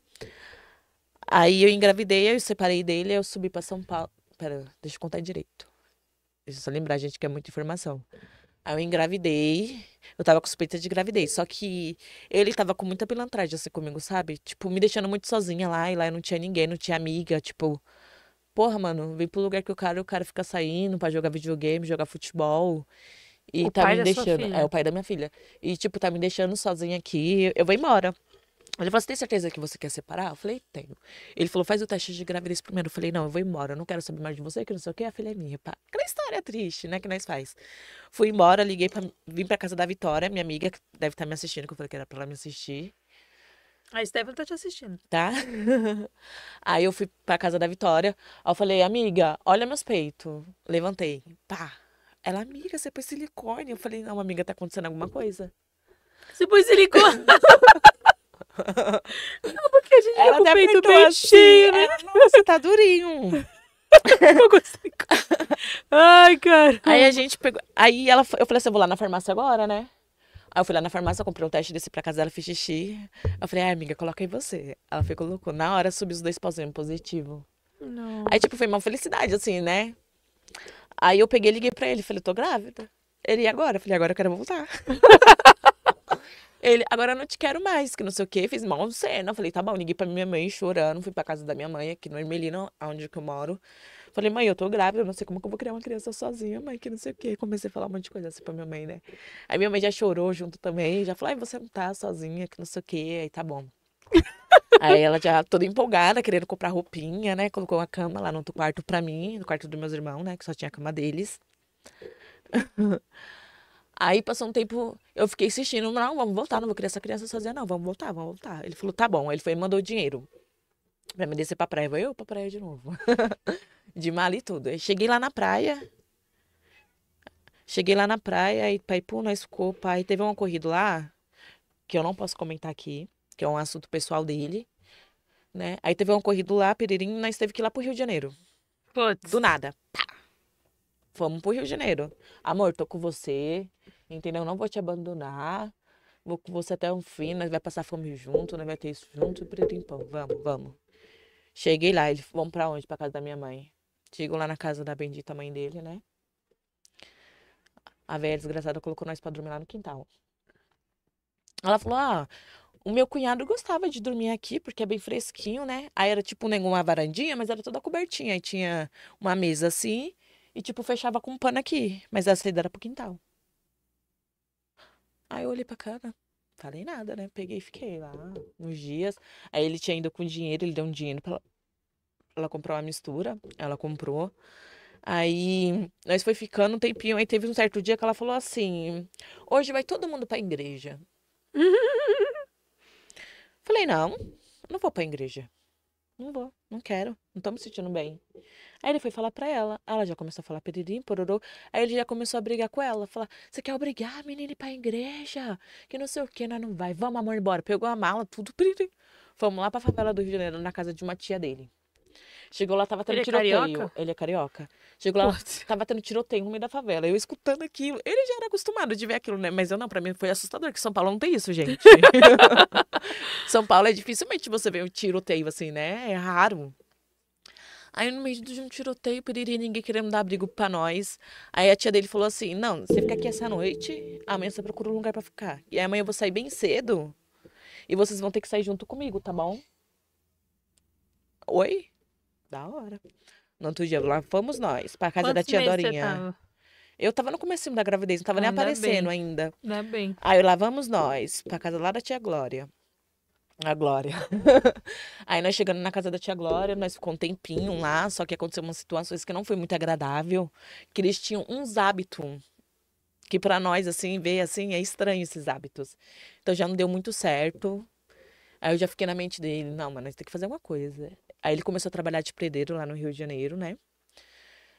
E um amigo dele deu uma casa pra gente ficar. Falou, ó, vocês ficam aí até vocês levantar, melhorar. Quando vocês melhorar, vocês começam a pagar o aluguel. Falou, tá bom. Aí uma tia dele doou um fogão, uma geladeira, uma cama, uma televisãozinha de tubo. Tudo ok. Ele ia trabalhar. Ele ia, ele ia trabalhar. E eu ficava lá, né, cuidando da casa, limpando da casa, Caramba. que, que não tinha encanação. Isso daqui é o gato, tá, gente? Ah, tem um gato? Tem a Melissa. Ai, Me arrependi amargamente de ter pegado essa gatinha. Fala. Aí, só pra mim não perder aqui o resumo. Aí, nós ficou lá no Rio de Janeiro um tempo, nós ficou nessa casa. Aí eu falei, amor, já tô de oito meses grávida. Não fiz ultrassom. Minha filha, minha filha, meu filho, não tem nada. O que que nós vai fazer? Ele, ah, não. de oito meses já.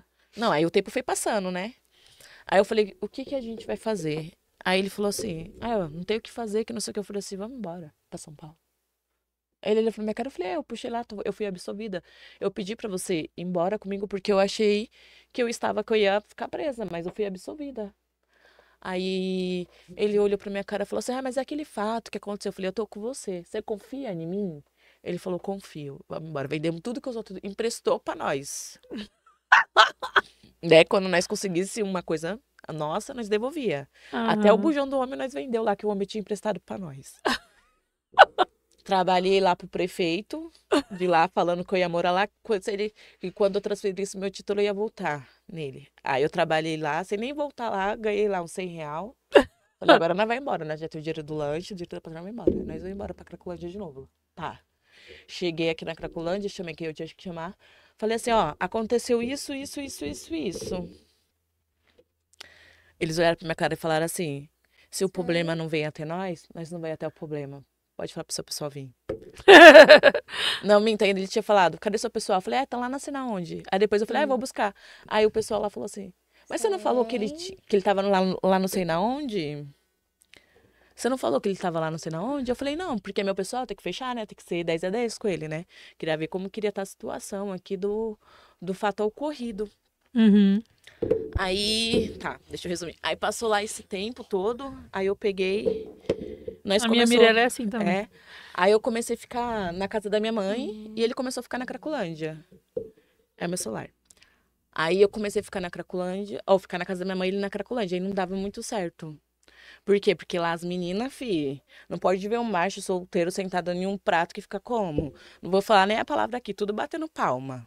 Nossa. Tudo batendo palma. Inclusive, tinha uma que era até minha amiga, assim, e eu tinha muitos ciúmes desse cara. Gente, eu parei de falar com todo mundo. Era eu por ele e ele por mim. Nenhuma das minhas amigas, tipo, não gostava. Se eu visse com muita ideia com ele, eu já virava cara. Que é o pai dela? É o pai dela. Meu Eu já falava, Deus. não é minha amiga mais. Tá sendo amiga dele porque tem que ser minha amiga. Ai, meu Deus. É. Você tá risada? Aí tava. Aí a gente começou. Filha, você tá tirando minha concentração aqui. Fala. Aí, onde que eu tava mesmo? Falando que você tinha muitos ciúmes É, eu dele. tinha muito ciúmes dele, filho. Muito, muito, muito mesmo. Não virei cara pra muita amiga minha. Quando você foi pra Cracolândia, você estava com oito meses de gravidez? Quando eu voltei. Quando você voltou pra Cracolândia, É, você eu tava... já tava de oito. Não, tava de sete. foi quando você foi presa. Foi quando eu fui presa. Eu Vou chegar aí, só tô resumindo aqui. Aí eu é que, é que se eu for contar tudo, eu fico aqui, ó. Qualquer coisa você volta de é, novo. por isso que eu tô pulando aqui algumas partes até na minha mente. Aí. Ai, já esqueci de novo onde que eu tava. Ela tirou minha concentração. Você tava na Cracolândia, aí você tinha muitos ciúmes dele, já É. gostava que as suas amigas ficassem com Ficava ele. com ele, piririnha, e nós começamos a viver um pelo outro. Aí tá bom, aí passou um tempo, piririm, pororô. Eu morando na casa da minha mãe na Cracolândia. Aí eu ia todo dia pra pegar ele no pulo. Chegava lá, não pegava nada. Eu falei, mano, ele tá fazendo no sapatinho, vim aqui sem avisar. Aí eu ligava pra minha amiga Mariane, que ela namorava com, a- com o parceiro dele, que era muito parceiro. Eu falava, Mariane, vamos se lá, não vamos pegar eles no pulo agora. E nunca, nós nunca pegava, mas teve um dia que eu peguei, tava lá no quarto dele, cheguei lá pro porteiro, falei, porteiro, você pode me dar a chave do quarto tal, tal, tal? Ele, nossa, cunhada, posso sim. Foi e me deu a chave do quarto, eu fiquei lá, eu e a Mariana, deitada esperando os bonitão. Subi, quem bateu foi logo duas minas lá na porta. Sério? Aham, bateu. Um dia que eu fui presa. Bateu duas minas lá. Aí eu já saí. O É? que, que você tava tendo na porta de homem casado? Que não sei, comecei a dar um barraco. Aí o irmão tava do lado, assim, mandou chamar ele lá embaixo, quando eu tava fazendo maior escarcel lá no hotel. Tá, Aí ele já chegou, o que tá acontecendo? Eu falei, por que elas estão batendo aqui? Essa vagabunda, que não sei o quê. Aí nós começou, ele ficou amarelo de tanta palavra que eu falei pra ele, que ele começou a me bater. Eu grávida. Ele já me batia muito antes, né? Mas grávida assim, ele tinha parado um pouquinho. Aí ele puxava meu cabelo, não sei o que aconteceu, que a unha dele entrou dentro do meu olho. Eu fiquei com o olho desse tamanho. Caramba. Fiquei com ele desse tamanho. Eu separei dele, arrumei o dinheiro, aluguei outro quarto de hotel, mas depois eu voltei pra ele lá de novo. Foi tudo uma cena. Aí no outro dia tava tendo operação. Ele te batia? Muito. Você não batia nele, não? Muito. Nunca pensou em furar o, o ouvido dele com a caneta? Não, mas nós agredia muito. Pôr um veneno na ele comida tinha- dele, não? Uma arranhama aqui na barriga que ele ficou anos. É, pôr um veneno na comida dele. Eu ficava roxa, roxa, roxa, roxa, meus braços assim, tudo roxo. Uma vez eu fiquei com esse lado da minha cara tudo inchado.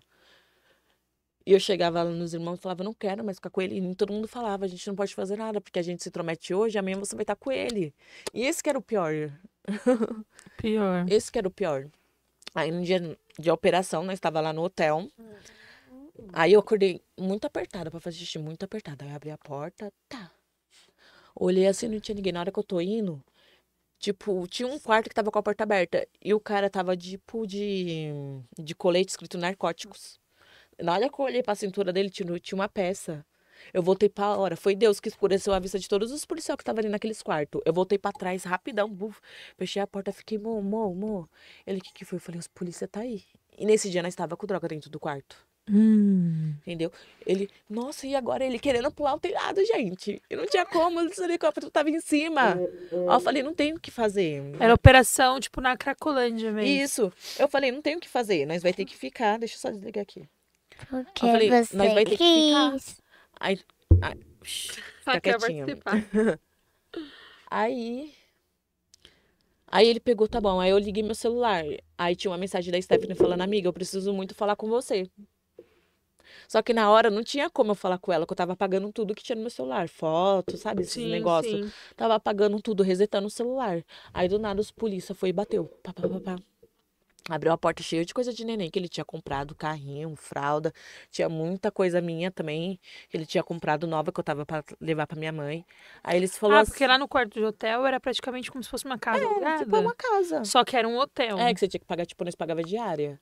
Tipo, era por dia que nós pagava, A entendeu? Tamara falou isso pra mim uma vez. Isso. A Tamara ficava na Cracolândia. Ela falou que eles, que, tipo, eles ficavam no hotel Sim, e pagava por dia. por dia, uma diária. Aí os polícia entrou, pegou e falou assim, tá tudo tranquilo aqui? Aí né, eu já levantei a blusa aqui em cima, né, um barrigão.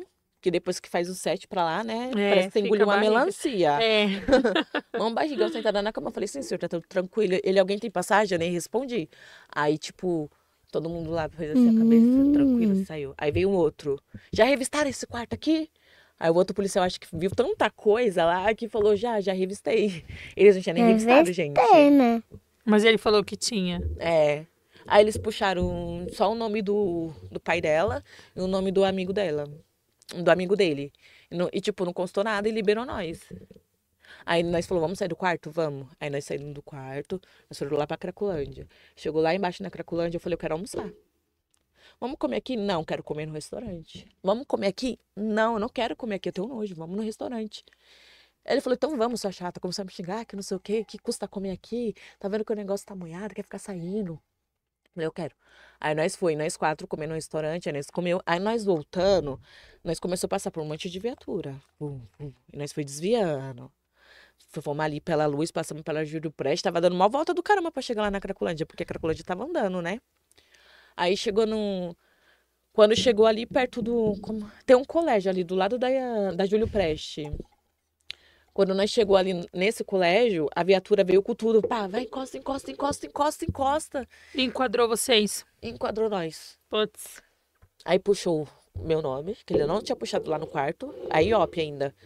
Puxou o nome da menina, tava puxando o nome deles. Quando chegou, falou: Você tá suave, você tá suave, você tá suave. Chegou na minha vez, olhava e olhava. Eu tava muito diferente, tava muito gorda. Olhava e olhava. Virou celular: Essa daqui é você? Aí eu falei: Aham. Ele, você tá presa. Eu, oi? Mas eu esqueci de contar. Eu tinha ido com a minha mãe me entregar no fórum, viu? Minha mãe tá aí pra não deixar eu mentir. Falei, mãe, vamos lá no fórum comigo que eu preciso, né? Ver se tá tudo certinho mesmo, porque eu puxei. Às vezes não tá constando nada lá, né? Uhum. Aí minha mãe foi comigo, eu cheguei lá, a mulher da sétima vara falou, não, você foi absolvida, pai pum. Aí eu falei, moço, eu fui no fórum me entregar com a minha mãe, eu fui lá ver se estava tudo certo, que eu precisava tirar meus documentos para registrar minha filha. Ele falou assim, então, vamos lá, se você não tiver devendo nada, realmente você Bom, sai, né? volta. Falei, tá bom. Eu já chorando, quer despedir do pai da sua filha? Eu, não, eu já sabia que ele ia me largar, eu já sabia que ele ia me trair, mesmo de uma semana, eu já sabia tudo. Aí vai eu pra 89. Fiquei 30 dias lá naquela 89, horrores. 30 dias. Fiquei 30 dias. Grávida de 7 meses. Grávida de 7 meses. Aí eu tava, eu É cheguei. esse o B.O. que tava você e a Stephanie? Sim, Não. é esse. Mas ela foi presa primeiro? Ela foi presa depois. Eu fui primeiro do que ela. Ah, tá. Porque a nossa cadeia depois. é revogação, né? É reveria. Vocês foram condenadas à revelia? A reveria, nós foi absolvida no dia da custódia. Ou, sem ser na custódia, na audiência que eles tinham marcado, nós foi, né? Absolvida. Fica quieta. Nós foi absolvida. Aí depois revogou. Aí Caramba. nisso nós estava em uma investigação de uma, em uma associação criminosa. Aí nessa associação foi que eu fiquei 15 dias lá no Corró e depois eles prolongaram mais para mais 15. Sim. Pra mim poder descer pro presídio. Só que daí o pai da minha filha e minha amiga, a Isabela, a Bia, tinha pagado o advogado pra me tirar. E eles conseguiram. O advogado conseguiu. Só que na Sim. hora lá de me soltar, o Denike ligou e falou que não era pra me liberar, que eu já tinha uma sentença de cinco anos. Nossa. Aí vem lá o policial se gabando. Ó, tava fazendo o seu papel pra te liberar. Só que o Denike ligou aí, falando assim, já tem sentença, que não sei o quê. Eles são Não assim pode mexer. mesmo. Eles são assim mesmo. Sim. Deixa eu te falar, e qual foi a sensação pra você ser presa grávida?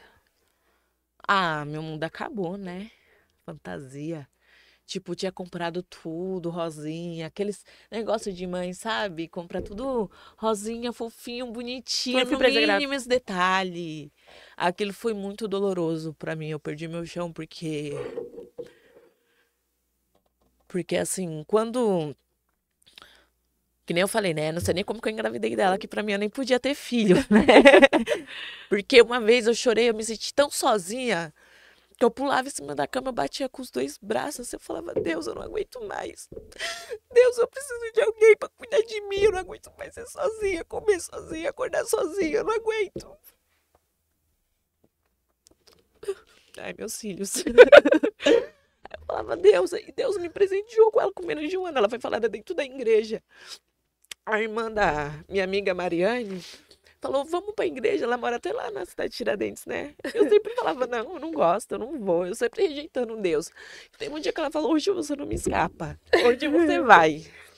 Aí eu fui pra igreja com ela. Chegou lá, eu recebi um abraço tão forte da pastora, que a pastora me abraçou e ela começou a chorar. Ela falou, tô vendo tanta coisa, tanta coisa que eu não posso te falar. Que você vai ter que passar por isso mesmo, você vai engravidar. Deus falou. Você não se preocupar que você vai ter uma menina. Então, desde o início eu sabia que era uma menina, sabe? Aí eu me tranquilizei tudo. Aí tá bom, voltando lá pra cadeia, né? Aí cheguei lá no corró, me jogaram com um monte de noia porque era dia de operação. As meninas que estavam lá no outro corró nem se levantaram pra ver minha cara se eu era usuário ou não. Tive que deitar com um monte de usuária no corrozinho do lado no chão, Grávida. grávida com frio, que eu fui presa de short e de blusa. Morrendo, morrendo, morrendo de frio. Peguei um monte de piolho naquele corró. Ai, meu Deus. Peguei. Aí nisso, essas usuárias foi tudo pra custódia, né? E eu fiquei. Aí chegou um bonde de umas meninas que é até de São Miguel, lá perto de mim. Chegou lá. Aí essas meninas, tipo, sabe, aquelas dondoquinha, Patricinha e eu grávida lá, ai, que não sei o que, foi uma humilhação. Ai, que não sei o que, eu vou pegar piolho, ai, que não sei o que, eu vou pegar piolho. Mas, gente, eu também não tinha piolho, eu peguei sem querer. Foi porque eu quis. Aí eu falei assim, gente, eu não sou Porque usuária, porque ela, tipo, a maioria das pessoas tem preconceito quando a gente fala que é da Cracolândia. Tem. Ela só fala que nós, tipo, acha que nós é usuário. É. Aí tinha um delegado lá, ele falou assim: Eu não vou deixar você aqui, não, vou te passar pro outro lado. Só que do outro lado, o povo costuma dizer que é pra gente coisinha, sabe? Tipo, é um lado especial, né? E eu não quis ficar. Porque uma noite que eu fui ficar, eu fiquei com medo, porque ele foi e puxou meu short. Ele puxou meu short assim, eu me assustei, eu olhei pra cara dele assim. Tipo, o que, que você vai fazer comigo? Que não era nem pra ele ter entrado naquele corró, né? O delegado O- O delegado do plantão do dia. Puxou seu short. Puxou. Eu já tinha sido revistada na delegacia. Ele puxou? Não sei. Eu não quis nem perguntar, que eu não queria me complicar. já tava presa, fodida, lascada. Aí o pai da minha filha mandou uma coberta, só pra mim, duas cobertas. e Mais nada. Eu, advogado, que tentou me tirar e mais nada. Aí eu paguei meus 30 dias lá que eu tinha que pagar da organização criminosa. E desci pra PFC. Pro materno. Ah, pro materno, porque era maternal mesmo. É, eu já fui direto pro materno. É, mesmo sem condenação, desce direto. Eu não tirei RO, não tirei nada. Fui direto Sim. pro materno. Cheguei lá, aguardei na minha disciplina, né?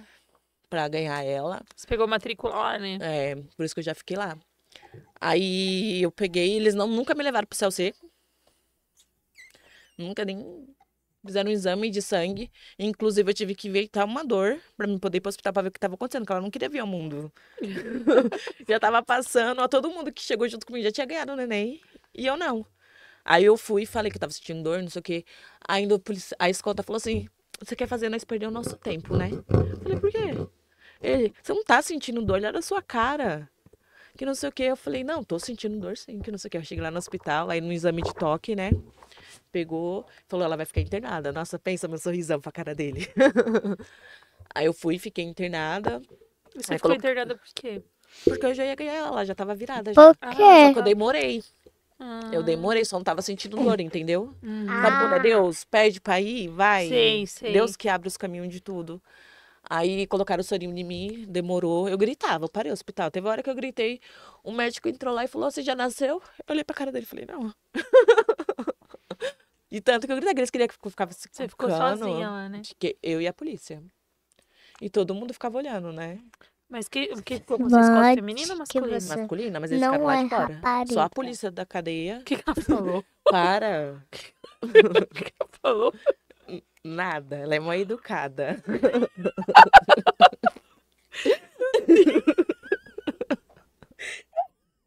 Vai sentar lá e ficar quietinha. Ai, meu Deus. Para, não é pra falar. Fica quieta. Ai, meu Deus. Aí eu cheguei lá, aí tá, eu fui pro hospital, ganhei, ganhei, minha, ganhei ela, né? Tipo, eu não sabia fazer nada, gente, eu não sabia dar banho. Eu dei graças a Deus que a polícia levou meu chinelo, meu chinelo embora, porque eu, eu ficava metendo louco nas enfermeiras falando que eu não podia andar descalço no hospital, que eu podia pegar alguma coisa no pé. Porque eu não sabia fazer nada. Gente, eu nunca nem segurei nem os filhos das minhas amigas no colo. Quando eu vinha algum bebê, eu chegava assim, ai, que bebê bonitinho, que fofinho. Aí, fica aí, tá bom. E você foi passar de parto sozinha? Sozinha? É, o meu primeiro filho eu também tava presa. Fui presa de sete meses. Eu fui passar de parto sozinha. Foi muito difícil. Foi horrível, porque você vê um monte de mulher grávida com a família ali, com o pai, numa emoção, e você ali, tipo, com a polícia, todo mundo olhando, nossa, Foi o que aconteceu comigo. E meu filho chorava muito, eu não sabia que era frio. Aí uma policial veio, uma investigadora, né, na verdade, porque eu tava numa delegacia. Veio, embrulhou ele igual um pacotinho, deu na minha mão e falou: é frio, ele tá com frio. Sim. E deu na minha mão. Inclusive, eu conheci uma usuária mãe. que o nome dela era Miriam. Ela me ajudou muito. Ela chegou, tava calor, ela pegou o pescocinho dela aqui, olhou assim e falou: Amiga, tá tudo assado, tem que limpar isso daqui. Eu falei, gente, mas eu não sabia que tinha que limpar aí. Porque ela nasceu, sabe, com o pescocinho bem molinho, aí ficava cheia de dobrinha, e aquele calor tava ficando todo assado o pescocinho dela. Eu comecei a chorar. Eu falei, eu não sei cuidar de neném. Eu não sei cuidar, não sei fazer nada, não tenho ninguém pra me ajudar. Nossa, que Eu desespero. falava pra ela. Ela falou, calma, eu vou te ajudar. Ai, mas, tipo, não tinha como. Era muita coisa. Logo já chegou uma, uma carta pra mim falando que o pai da minha filha estava casado com uma filha de irmã lá na rua. Aí meu mundo desabou. Ele já tava casado. Eu tava casada. Ponto. Assumida e tudo com a menina. E a menina era filha de irmã. E lá todo mundo sabia que eu era pessoal dele. Porque Todo nós éramos, nós se tornou um casal, tipo, muito carne e unha, sabe? Aonde que ele tava, eu tava. Aonde que eu tava, ele tava. Vagabundo. Ele nem te visitou. Não, não me visitou. Não. Não, Não ele pode não falar, foi. senão não, não vai comprar docinho pra você e vai ficar muito brava. Foi. Aí eu tive ela, aí quando ela tava com dois meses já, ela é muito chorona, até hoje. Chora. Ela abriu um berreiro de madrugada, um berreiro, que eu deixava ela na cama e ficava olhando assim pra cara dela, porque eu não sabia o que fazer. E as outras mães, né, tava com seus bebês, não ia deixar os bebês dela pra vir até mim, né? Sabe como que é presa. Aí eu fiquei lá, daqui a pouco sobe a polícia. Por que que essa criança tá chorando tanto? Eu falei, eu não sei, você quer que eu faça o quê? Aí eu comecei a discutir. Ela falou assim: se você não fazer essa criança parar de chorar agora, eu vou escrever uma carta, mandar pra assistente social, para mandar pro juiz e tirar seu filho de você, que você não tá cuidando dessa criança direito. Na hora que ela falou isso, a minha vontade, nossa, era de voar em cima dela. É louca. De voar. Eu olhei Dois meses ela tinha. Eu comecei a chorar de soluçar. Aí a criança me para. Aí eu comecei a chorar, chorar, chorar, chorar. Fi- Fiz uma cartinha lá, aí todas as grávidas que tava lá, né? Que na hora que minha filha tava dormindo, tava todo mundo dormindo, né? Na hora que a polícia subiu, todo mundo acordou. Achei, achei engraçado nesse dia. Eu falei, ah, eu vou entregar ela, que não sei o quê. Fiz um bilhetinho lá e todo mundo, não, não faz isso, que não sei o quê. Eu falei, vou entregar. Fui, chamei assistente social, falei assim, liga pra minha mãe, fala pra minha mãe vir buscar ela. Arrumei todas as coisas dela. E desci lá, assistente social desceu lá, esperei minha mãe chegar, minha mãe chegou, fui, entreguei ela. Saí vendendo tudo de bebê de cigarro, pra me descer com cigarro pro pavilhão. Vendi tudo. Falei, agora vou começar minha jornada de verdade. Porque tava muito pesado, sabe? Muito, muito, muito pesado. Tipo, a notícia que o pai dela tava me traindo, não saber de cuidar de uma criança, você tá presa e a criança ainda chorando no seu ouvido. Foi mais forte que tem. eu. Tipo, Você não tem devolveu, você entregou pra sua mãe com dois Com meses. dois Eu meses. entreguei com dois dias. Com dois dias. Com dois meses. Tem que ter muito psicológico, gente. Muito, muito, porque a criança vai chorar e você não consegue identificar o que ela tem ali. É muito doído.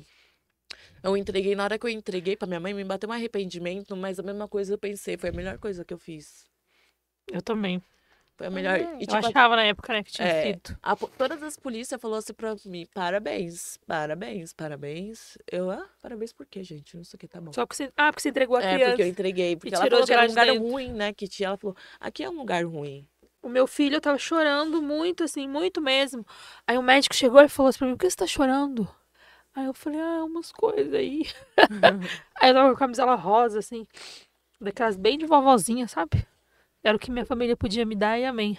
Sim. Aí ele, ele, falou, ele falou assim: fala, de repente eu posso te ajudar. Aí eu falei: ah, nunca eu tô preta. Eu fui inventar de traficar, que eu não sei o que, eu. Comecei a chorar, menina. Aí ele falou assim pra mim: você ama teu filho? Eu falei: amo.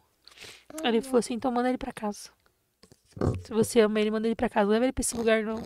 Esse lugar é carregado de energia ruim, de coisas ruins. Nós estamos numa época de frio. Ele precisa de calor, ele precisa do, do colo, ele precisa de carinho. Mãe, Não manda ele pra lá, não. a gente vai shopping? Vai. Falou, falou pra mim, aí eu entreguei pra minha mãe do minha, ah, Nossa, minha mãe parou o hospital. Porque eu entreguei pra ela, eu chorava, mas eu chorava porque eu só amamentei ele. Acho que dois dias. E- então, tipo, entregar ele, ele foi pra casa sem, sem, sem mamar. E ele chorava muito, porque tinha, Sim, tava com fome, né? sim. Aí eu lembro que eu chorei muito, nossa, chorei demais. Aí na hora que ela pegou do meu colo, ela chorava mais ainda. E tipo, ela chegou lá brava, você vai, você vai me entregar ele mesmo? Eu falei, vou. E fiquei olhando assim pra cara dela, tipo, vou. Ela, mas você tem certeza, Marcinha? Eu trouxe roupa pra pelo menos ele ficar uma semana com você. Eu falei, não, pode levar. É doído? Só carregou. Tá. Aí eu peguei e desci. Aí eu voltei pro materno pra esperar a polícia me chamar pra me mandar pro pavilhão, né? Falei, puta, mano, como que vai ser? Como vai ser? Eu sou chata. Você ficou na PFC? Aham.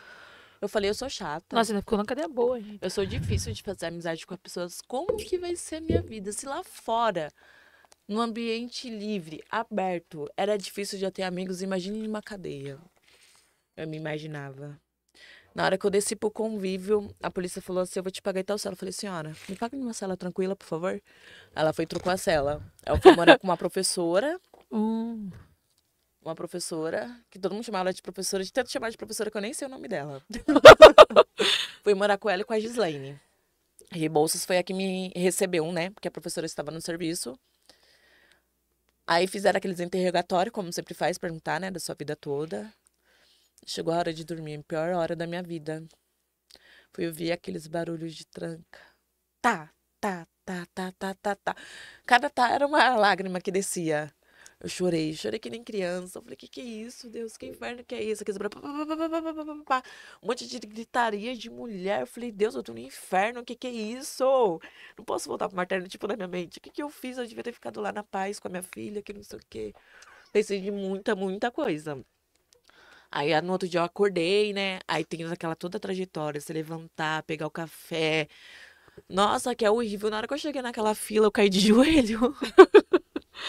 Eu comecei a chorar, ver os outros brigando por causa de pão, por causa de cota de café, de chá. Gente, que que é isso? É assim mesmo. É, Essas você brigas. não- Nossa, mas depois eu fui me adaptando, fui me direito. acostumando. E já com uma semana de pavilhão já arrumei briga. Com uma semana de pavilhão. briga por causa de sapatão. Uma semana. Uma semana de pavilhão. Porque foi assim, eu cheguei, né? No pavilhão. Aí, tipo, com três dias já, já comecei a andar lá embaixo, né? Conhecer os povos. Ah, de que B.O. que você é? Você é lá do centro, Paipum, eu te conheço. Passa, a mulher está fulano, Paipum. Aí eu peguei. Aí eu fa- falou assim, aquela entendida ali quer ficar contigo. Aí eu, oi? Eu olhei assim. Falei, tá bom, depois eu falo com ela. Aí depois ela foi lá na minha cela, posso falar contigo? O nome dela é Marina. Aí eu falei, pode? Ela você é mal bonita, que não sei o quê, mas você desceu do materno, você é casada? Eu falei, não, não sou casada não, sou solteira. Sou solteira. Porque o ladrão já tava casado aqui fora, eu ia ficar pagando de casada dentro da cadeia? É. Não, eu sou solteira. Ah, tá bom então. Aí na hora do almoço ela subiu de novo. Vamos almoçar comigo lá na minha cela? Aí eu, hum, vamos ver, né? Se tem um Sedex, alguma coisa. Gente, eu não sou. Mas vocês sabem que na cadeia nós temos que fazer a nossa, até, né? Ah, Você não vai fazer um sabonete cafeteiro, né? Aí eu fui, só que ela, tipo, uma menina super humilde, não tinha visita, não tinha Sedex, não tinha nada. Ela só trabalhava, tá? Na Embramed. Oh. Ganhava super bem, horrores. Tá, tinha um cesto cheio, tá, gente? Tô brincando, tá, gente? É só uma distração. Aí eu dei uns beijinhos nela, assim, piririm, pororô, tá? Aí depois, sei lá, não quis mais. Eu não quis. Na, na- naquele momento eu não quis mais. Ela tinha voltado com uma ex dela. Aí ela foi lá na minha cela. Ô, fala pra minha ex que eu não fiz nada com você, não. Que ela não quer ficar comigo achando que eu fiz alguma coisa com você. Aí eu falei, você tem certeza? Você sabe quem que eu sou? Você tá vendo essa carinha de besta aqui, mas você não sabe quem eu sou, não, viu? Ela já. Aí essa namoradinha dela passou. Aí eu falei, ô, ô fulana de tal, vem aqui, por favor. Morreu. Aí ela parou bem na minha frente, olhou assim pra minha cara e falou, oi. Eu falei, aqui é a Marina. Na hora que eu falei, é que é a Marina, ela foi dando as costas pra mim. Ah, não dá as costas pra mim, não. Fui e segurei o braço dela. Tá. Você não dá as costas pra mim, não. Você acha que você é quê pra dar as costas pra mim? Na cadeia você pegou nela. Peguei nela. Eu já Putz. sabia que era ringue aberto mesmo. Do, do jeito que eu gostava, que eu acho que se eu tirasse pé eu ia passar mais mal do que PFC. É, é, na PE não tem, não. Porque a PFC é ringue aberto. Sai na mão mesmo, as minas. Tipo, Eu part- sei. eu só saí na mão uma vez, ainda fui na firme e ninguém viu, graças a Deus. É, Ele sai na mão mesmo lá. Aí eu, aí eu segurei, aí eu segurei o braço dela e falei assim, você não me dá as costas não, que eu tô falando com você. Ela falou, solta meu braço. Eu fui, dei um, um tapa no chapão. Eu falei, pá, aqui é centro, cara. Aí começou a galeria a balançar, é, que é centro, que não sei o quê. Todo mundo chacoalhou, ninguém entendendo nada que tava acontecendo ali. É centro, é centro, é centro, piririm, pororô. Aí as duas brigou, aí eu fui e fiquei com ela só de raiva. Ah! Fiquei minha cadeia inteira com ela. Tipo, eu terminava com ela, ela ficava com outras meninas, mas esse é um lado trouxa meu, que eu sou- respeito muitas pessoas. Eu não ficava com ninguém que eu tava pegando a cadeia inteira, mas tá Você bom. Aí depois eu comigo. voltava com ela. Ai, meu Deus. Entendeu? Aí eu fiquei com ela minha cadeia inteira. Quanto tempo você ficou? Na PFC, dois anos e oito. Ah, tá. Então a Stephanie ficou na PE e você ficou na PFC. Eu fiquei na PFC. Lá você trabalhou. Muito. Tipo, no começo eu falava, não vou ficar nessa cadeia de coisa, não. Vou pedir meu bonde, que não sei o quê. Depois que eu vi que demora pra fazer a carteirinha, depois que eu vi que lá na PET não era todo mundo que trabalhava, era mais setor, que não sei o que. Eu falei, que eu vou ficar aqui ganhando É. meus 1.500, Desde quando, 1.600. desde quando eu cheguei lá, eu sempre fui setor. Mandava 500 pra minha mãe, pra ela, e ficava com milzão. Pra mim não tá bom, não. sem pedir o SEDEX, sem pedir nada. Me virava, ainda mandava dinheiro pra rua. Ainda E sua mãe cuidando dela. É, eu ainda consegui remir meus dias, que foi bastante, que eu fiquei muito pouco tempo no A semiaberto. vovó foi no hospital. Foi. Eu vou pro hospital. Quanto tempo você ficou no seu aberto? Eu tive três saidinhas e Malvará. Três Porque anos. você não tinha dinheiro. A minha primeira saidinha eu saí, que foi a do Natal, né? Aí depois teve a outra, e na terceira, cheguei no outro dia, meu vara já tava na casa. Como que foi pra você é, sair na saidinha, primeira saidinha? Na verdade, eu não queria nem sair de saidinha, né? Porque é, é a pior coisa você sair de saidinha e você ter que pensar em ter que voltar pra aquele inferno. Porque o CPP de São Miguel foi. Eu falo pra você, de tudo que eu já tirei na, na cadeia, assim, foi o meu, meu, pior erro foi ter escolhido ir pra lá. Porque eu ia pro Butantã. Eu, eu fiquei no Butantã. Aí eu falei assim, não, vou pedir aproximação familiar, como que eu moro lá em São Miguel, pra ficar mais fácil pra minha mãe. Sua mãe levava ela pra você na cadeia? Levava. Não todas as visitas, mas levava. Aí eu falei assim, nossa, parece um- uma vilinha do Chaves, sabe? O CPP de São Miguel. Não sei se Não você conhece. É uma, duas, três, quatro celas. Com 30 mulheres dentro em cada cela. Meu E eu arrumei Deus. briga lá, viu? Saiu uma cela inteira pra me pegar. Pra me pegar, não, pra me apavorar, né? E eu bati de frente com as meninas. Querendo que eu pedisse desculpa pra outra menina. Eu falei, eu não vou pedir. As meninas da pé. As meninas da pé falou assim, pede desculpa. Inclusive, hoje em dia eu sou amiga até de uma, que foi a própria que falou pra mim. Ah, é que era pra mim pedir desculpa pra fulana de tal. Eu falei, eu não vou pedir. Quem é que tem um papel aqui? Quem é que quer uma aqui? Ninguém. Vou pedir desculpa pra quê? E por quê, né? E foi o quê? Briga que teve lá? Foi que eu tava defendendo uma menina. Uma menina aqui na PFC, eu nem falava com ela. Que ela vivia apanhando nos outros lá na PFC. Vivia com o bochichinho, tipo, na boca de polícia, assim, sabe? Que era cagueta, esses negócios. E eu acabei tomando um bonde com ela. Eu sou muito protetora, pra quem me conhece. E ela, tipo, sabe, filhinha de papai e de mãe, mas muito besta, ingênua. Tá preso por quê? Tráfico. Era homicídio. O quê? No Homicídio. Tira a mão. Tava preso no homicídio. No homicídio. Ela matou alguém. É, mas eu não, eu não lembro muito bem a história dela, entendeu? Aí ela tava presa no homicídio, aí eu não sei, ela tinha, tipo, condições boas na cadeia, né? Aí ela tinha emprestado, eu acho que foi uma progressiva pra menina dado. Ela falou que ela emprestou pra menina, a menina não queria devolver. Ela falou, vai lá pedir pra menina. Eu bobinha, né?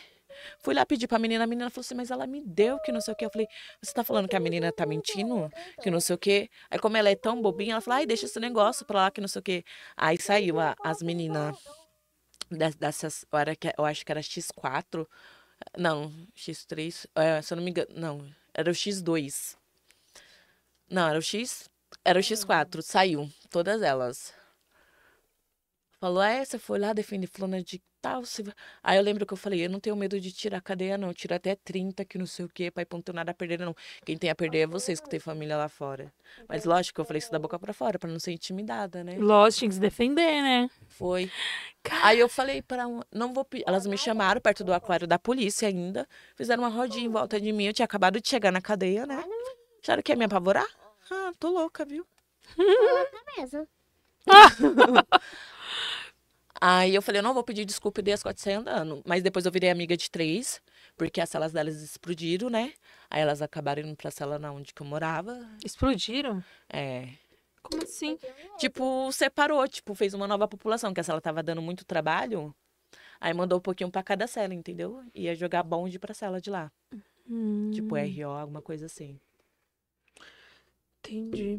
Caramba. Você tem história, hein? É que eu só tô resumindo, né? Sim. Criança aqui não dá pra falar muita coisa também. É, a gente combina uma parte 2. Que com certeza vão pedir. Sim. Porque você tem história aí, Eu hein? tenho, filho. É por causa que, tipo assim, a gente tem que se organizar. As ideias que na hora nós fica nervosa, a gente acaba se perdendo do que Não, as meninas vêm, aí fala isso, fala assim. As meninas vêm, elas falam isso mesmo. Falam assim, nossa. Nós organizamos, falar, eu vou falar isso, vou falar aquilo. Eu nem É. dormi essa noite falando o que eu ia falar. Já eu, eu tô dando vários brancos assim na cabeça. Elas falam, assim, nossa, mas a gente vai. é, é, poxa, eu não falei tal coisa, eu esqueci de tal coisa, eu esqueci de não sei o quê. Sim, é complicado, mas foi bem doído essa trajetória aí na cadeia. Fui pro castigo por causa de um vidrinho de álcool. Mas, tipo, você vê que eu sou, tipo, tão honesta. Honesta com a minha companheira de sala. Eu fui, eu fui ser. Que, tipo, ela tinha cola, eu tinha álcool. Ela tinha cola pra tirar esmalte. Eu tinha álcool pra tirar esmalte da unha. Só que daí a polícia pegou só as colas, porque ele não saiu abrindo e cheirando. Aí a polícia falou assim: Cela 34, de quem é esses vidrinhos de cola? Aí a professora falou, putz, esqueci de dispensar. Falei, é minha, eu falei, putz, eu também tenho um vidrinho de álcool. Aí na hora as meninas me puxou e falou assim, não, ela já vai pro castigo. Deixa ela segurar o seu, ninguém vai saber, é só um vidrinho. Aí eu falei, mas minha consciência não vai deixar eu dormir. Porque tem algo meu ali, certo? Pode ser um negocinho, cada um segura seu. Aí eu fui e falei, senhor, tem um vidro aí que é de álcool, 70 que é meu. Aí falou, castigo. Dia das mães, fui pro castigo. Aí eu fiquei lá 10 dias no castigo, que nunca passava. O inferno de castigo. É. Fiquei lá no castigo, depois desci. Aí foi falta leve, não peguei nada, graças a Deus. Sim, era professora mesmo? Ela era professora. E o que será que deu nela pra ir presa? A droga, ela fabricava. Ela não era que nem nós vendia, cena pequena, ela fabricava. Então, pensa, um pouquinho da fábrica dela, quantos que não valia? Nossa, mas eu sou uma burra, mesmo. O que, que eu tinha que com a mamãe? Fica. Ah, entendi. Caramba, mano. A gente vai encerrar. Mas eu vou te chamar pra vir de novo. Tá. Você deve ter história aí, bagundada. Tenho. Eu, eu vou tentar vir sozinha pra mim não ficar gaguejando tanto por causa dela, né? E vir mais Pro calma. shopping? Vamos. Ah, quer ir pro shopping. Quer ir pro shopping, né? Teria dinheiro pra ir pro shopping. Sim. Deixa eu falar pra você, é melhor entrevista de sábado ou de domingo? pra mim tanto faz, sábado e domingo. Mas no domingo é porque eu não tô trabalhando no- nos domingos por causa que meu padrasto tá operado. Então no sábado seria melhor porque é minha folga. Sábado é melhor, né? É, que é minha folga. Então eu vou combinar de Ah, ter vindo. só É, você não no próximo, no outro, talvez. hospital. Sim. Você vai levar ele no hospital. Vou. Tá bom? Tá bom. Gente, nós vamos encerrar. Depois de eu ter chorado horrores. Porque a história dela lembrou do meu filho. E eu vou chamar ela pra parte 2. você quer encerrar? Quer? É, tchau. Como que você encerra, então? Como que fala na hora de Tchau, encerrar? galerinha. Tchau, galerinha. Tem que falar no microfone, olhando pra câmera. Fala, tchau, galera. Tchau, galera. Fala, minha mãe vai vir de novo. Ela vai vir de novo. Coisa linda. Então, até amanhã, gente. Amanhã, como eu falei, tem entrevista do Daniel. Tchau. E mais histórias pra contar. E é um homem, né? Que eu acho bem interessante. Até a próxima, gente. Tchau.